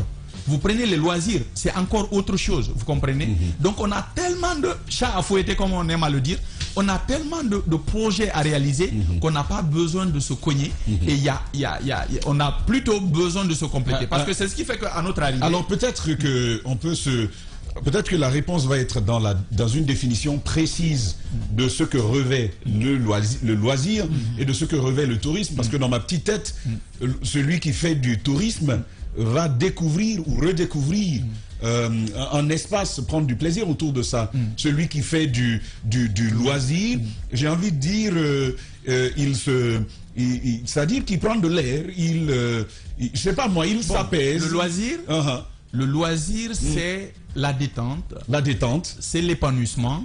Voilà. Mais c'est- aussi un facteur, euh, euh, euh, non, non, non, c'est un facteur d'épanouissement, mais c'est un facteur économique de création de richesse. En effet, sur ce côté. Voilà. Mais, mais je, voulais dire loisir pour ce que c'est.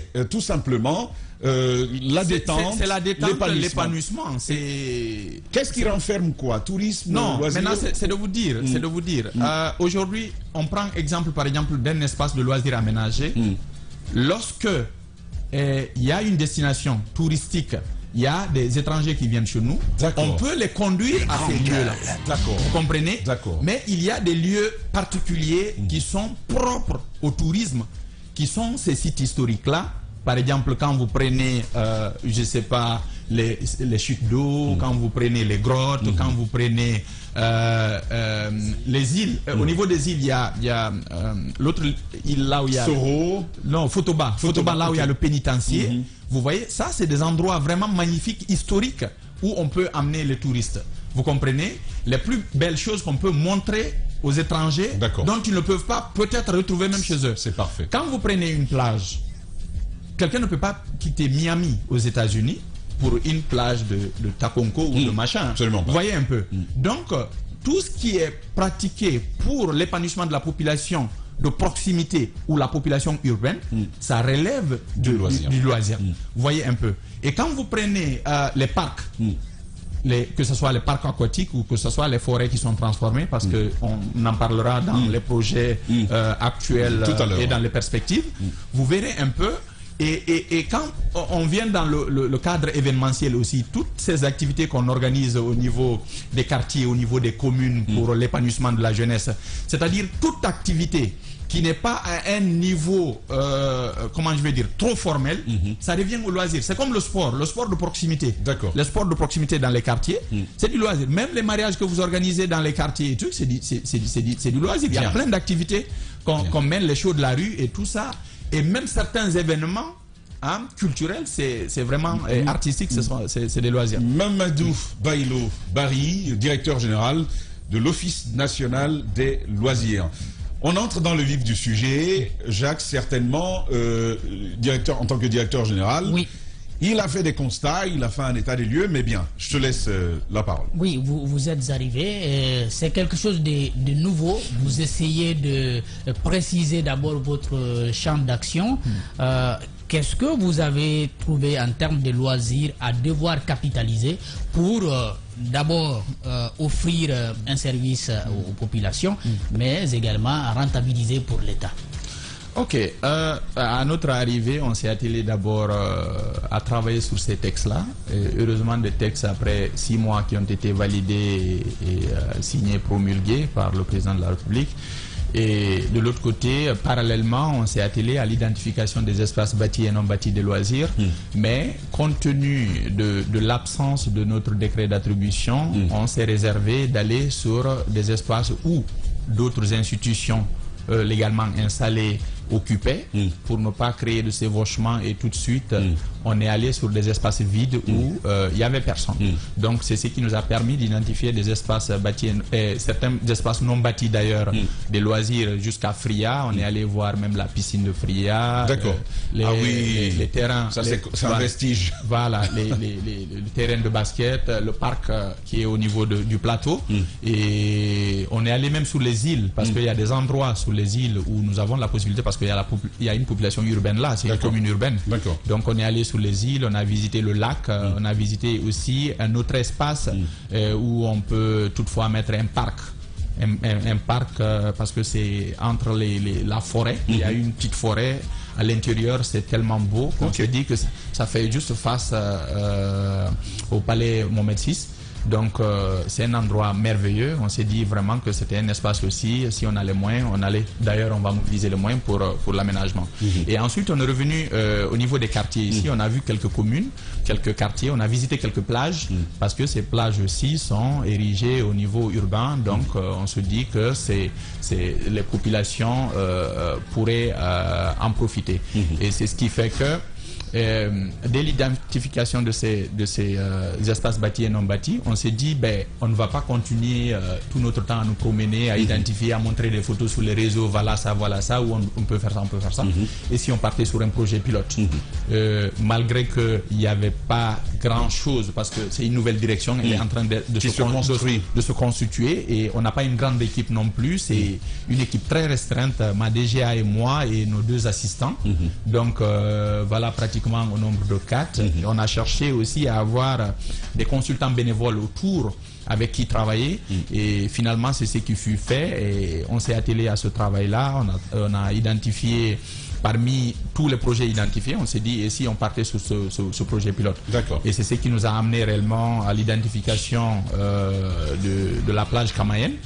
Et à ce niveau, il y a eu l'implication des autorités au plus haut niveau, euh, euh, à qui, euh, avec qui on a échangé et finalement on a proposé une maquette après les études et qui ont tout de suite validé et ensemble nous avons identifié le premier sponsor parce que euh, D'accord. parce qu'on n'avait pas de compte Un, un sponsor, un financeur, je veux savoir. Euh, un sponsor. D'accord. Un sponsor, parce que ça allait être beaucoup plus facile. Et vous savez, du moment où on n'avait pas notre décret, décret d'attribution, on n'a Mm. pas droit à un compte au trésor. Mm-hmm. Donc du moment où on ne l'a pas, et c'était compliqué de- d'aller dans ce sens-là. Mm-hmm. Mais on s'est dit, euh, à l'absence de la maman, on se contente de la grand-mère. D'accord. Soit tu as les moyens de ta politique ou la politique de tes moyens. Mm-hmm. Mais avec cette expérience euh, du secteur privé d'où je viens, et, et également la DGA et les autres assistants, finalement, on a réfléchi à aller vers euh, les, les sponsors pour voir et, et très rapidement. Donc, et c'est là où on a contacté le- la direction générale du port autonome de Conakry. On les a sollicités pour euh, euh, la réalisation du projet. Donc un sponsor euh, Oui, public. Un, un sponsor public, oui. D'accord. Voilà. Donc finalement, vous savez, lorsqu'il y a de la volonté politique, il est facile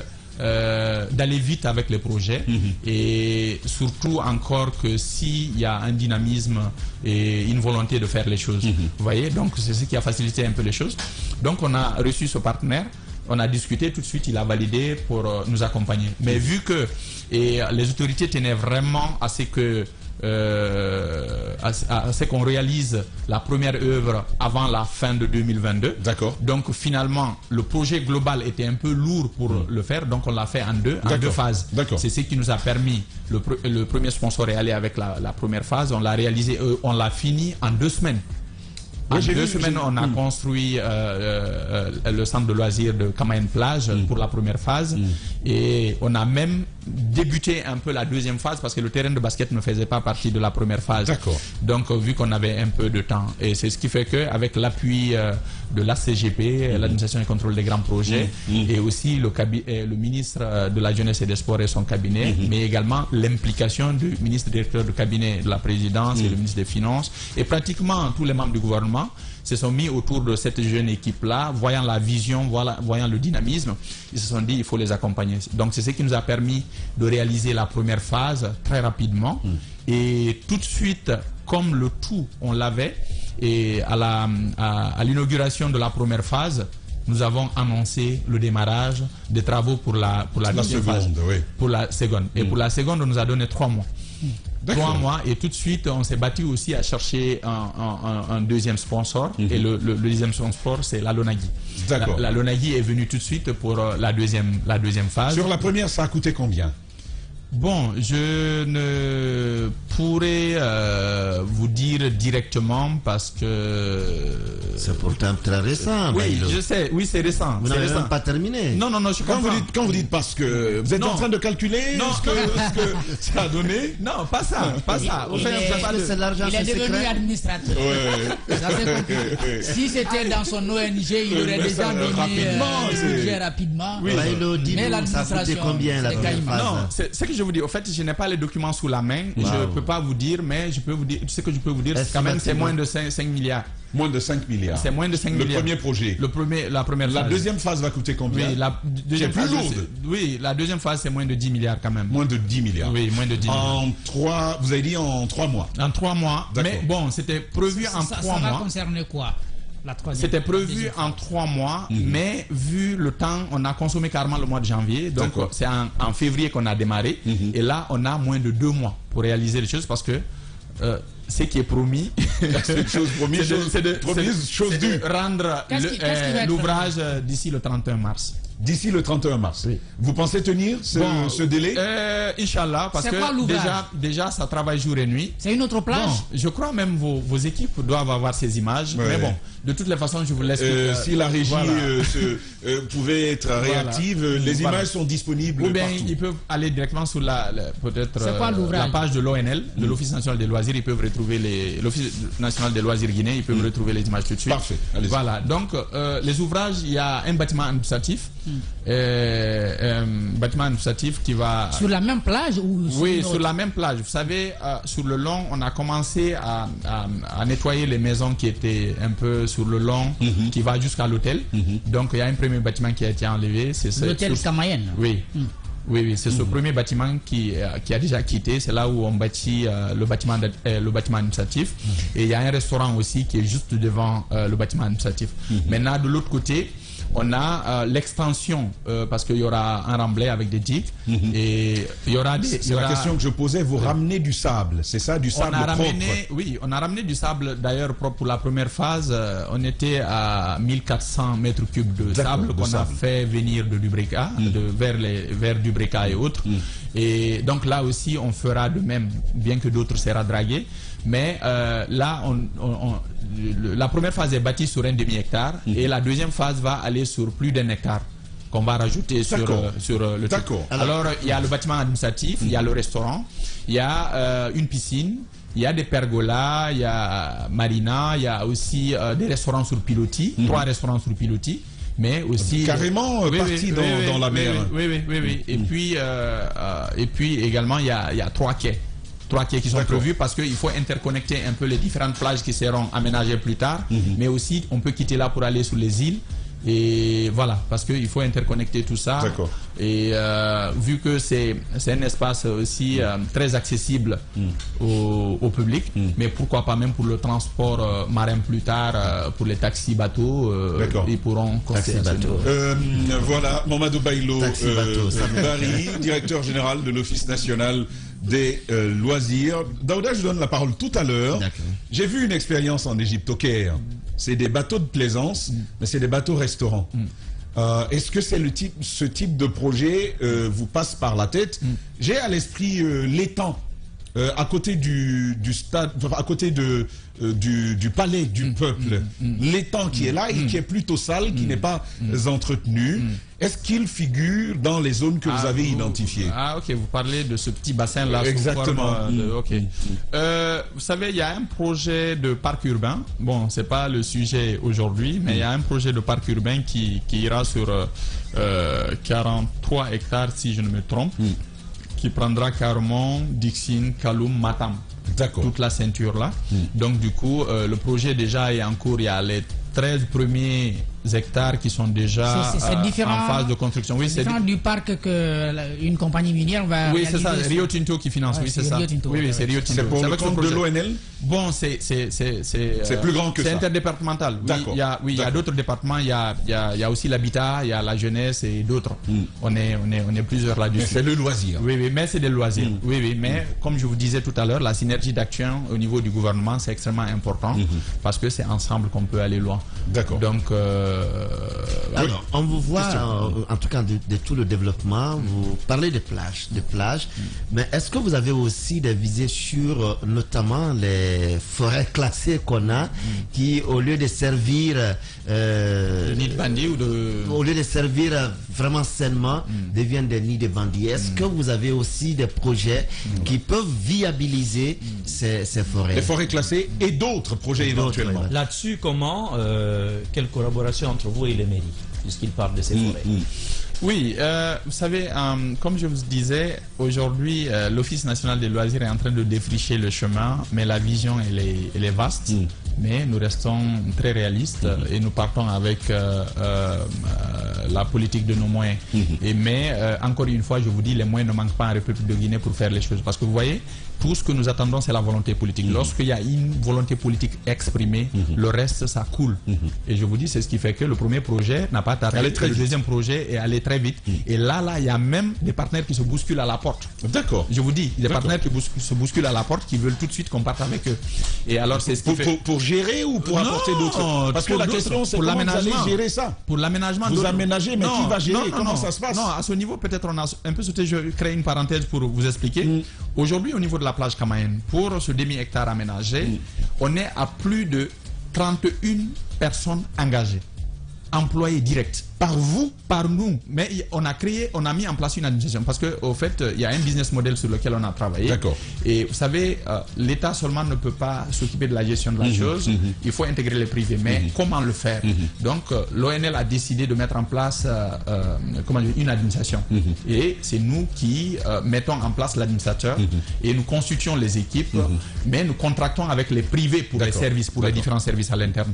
Mais il y a le contenu Ah ben local voilà, aussi. Je pense qu'ils se sont Voilà. voilà. bougés Voilà. maintenant. Ils se sont retrouvés finalement. Ouais, ouais. Allez-y. Voilà. Donc, euh, par rapport au contenu local, tous ces jeunes dont je vous dis, là, plus de 30, ils sont issus de, de, la, de la communauté. D'accord. De la communauté. D'accord. Vous voyez, donc euh, c'est un peu comme ça. Et le business model, euh, le business model, il est tellement intéressant qu'on a fait des choses en des pourcentages qui reviennent euh, aux charges, Aux prestataires, Voilà, aux prestataires, aux, aux équipes qui sont engagées, mais aussi à la communauté sous forme de RSE.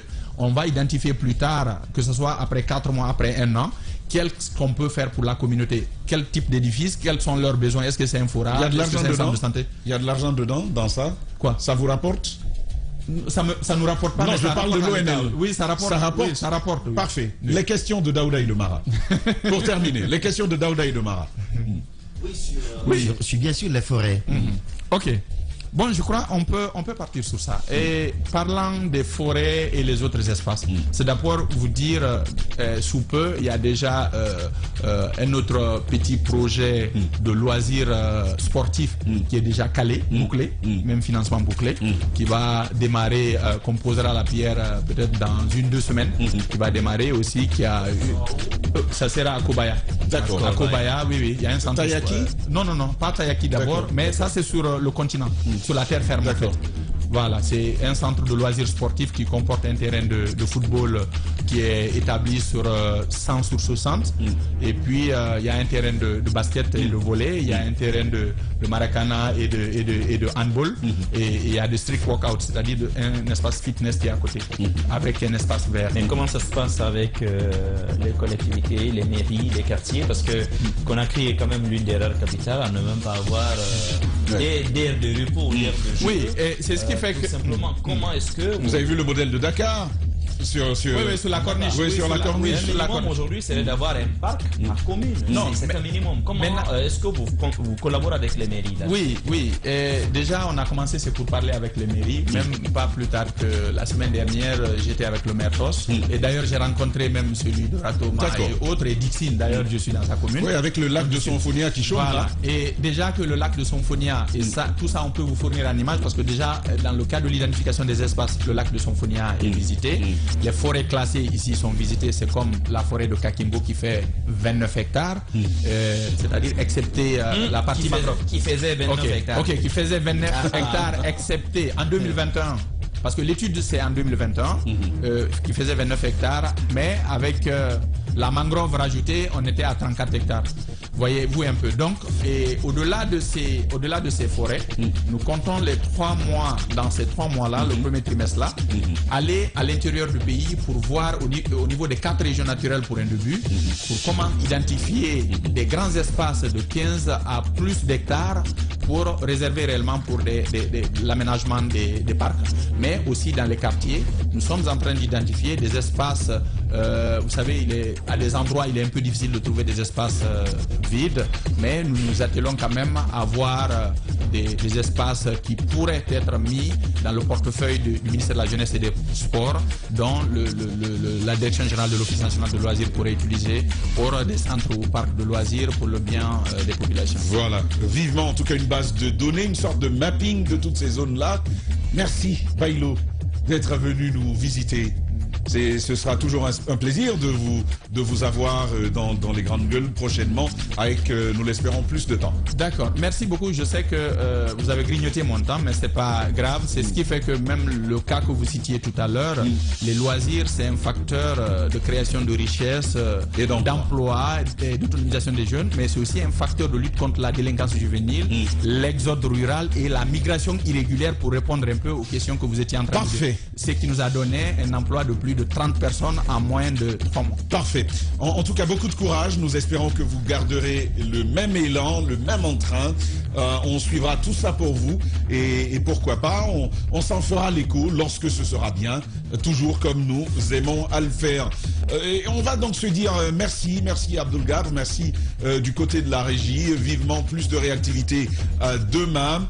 Nous allons tout à l'heure à la haute autorité de la communication une autre réponse euh, donc à devoir faire. Et les gars, merci. Hein. Bonne journée là-bas. Voilà. Les grandes gueules vous ont été présentées par Caracol Plus et Finition Plus de la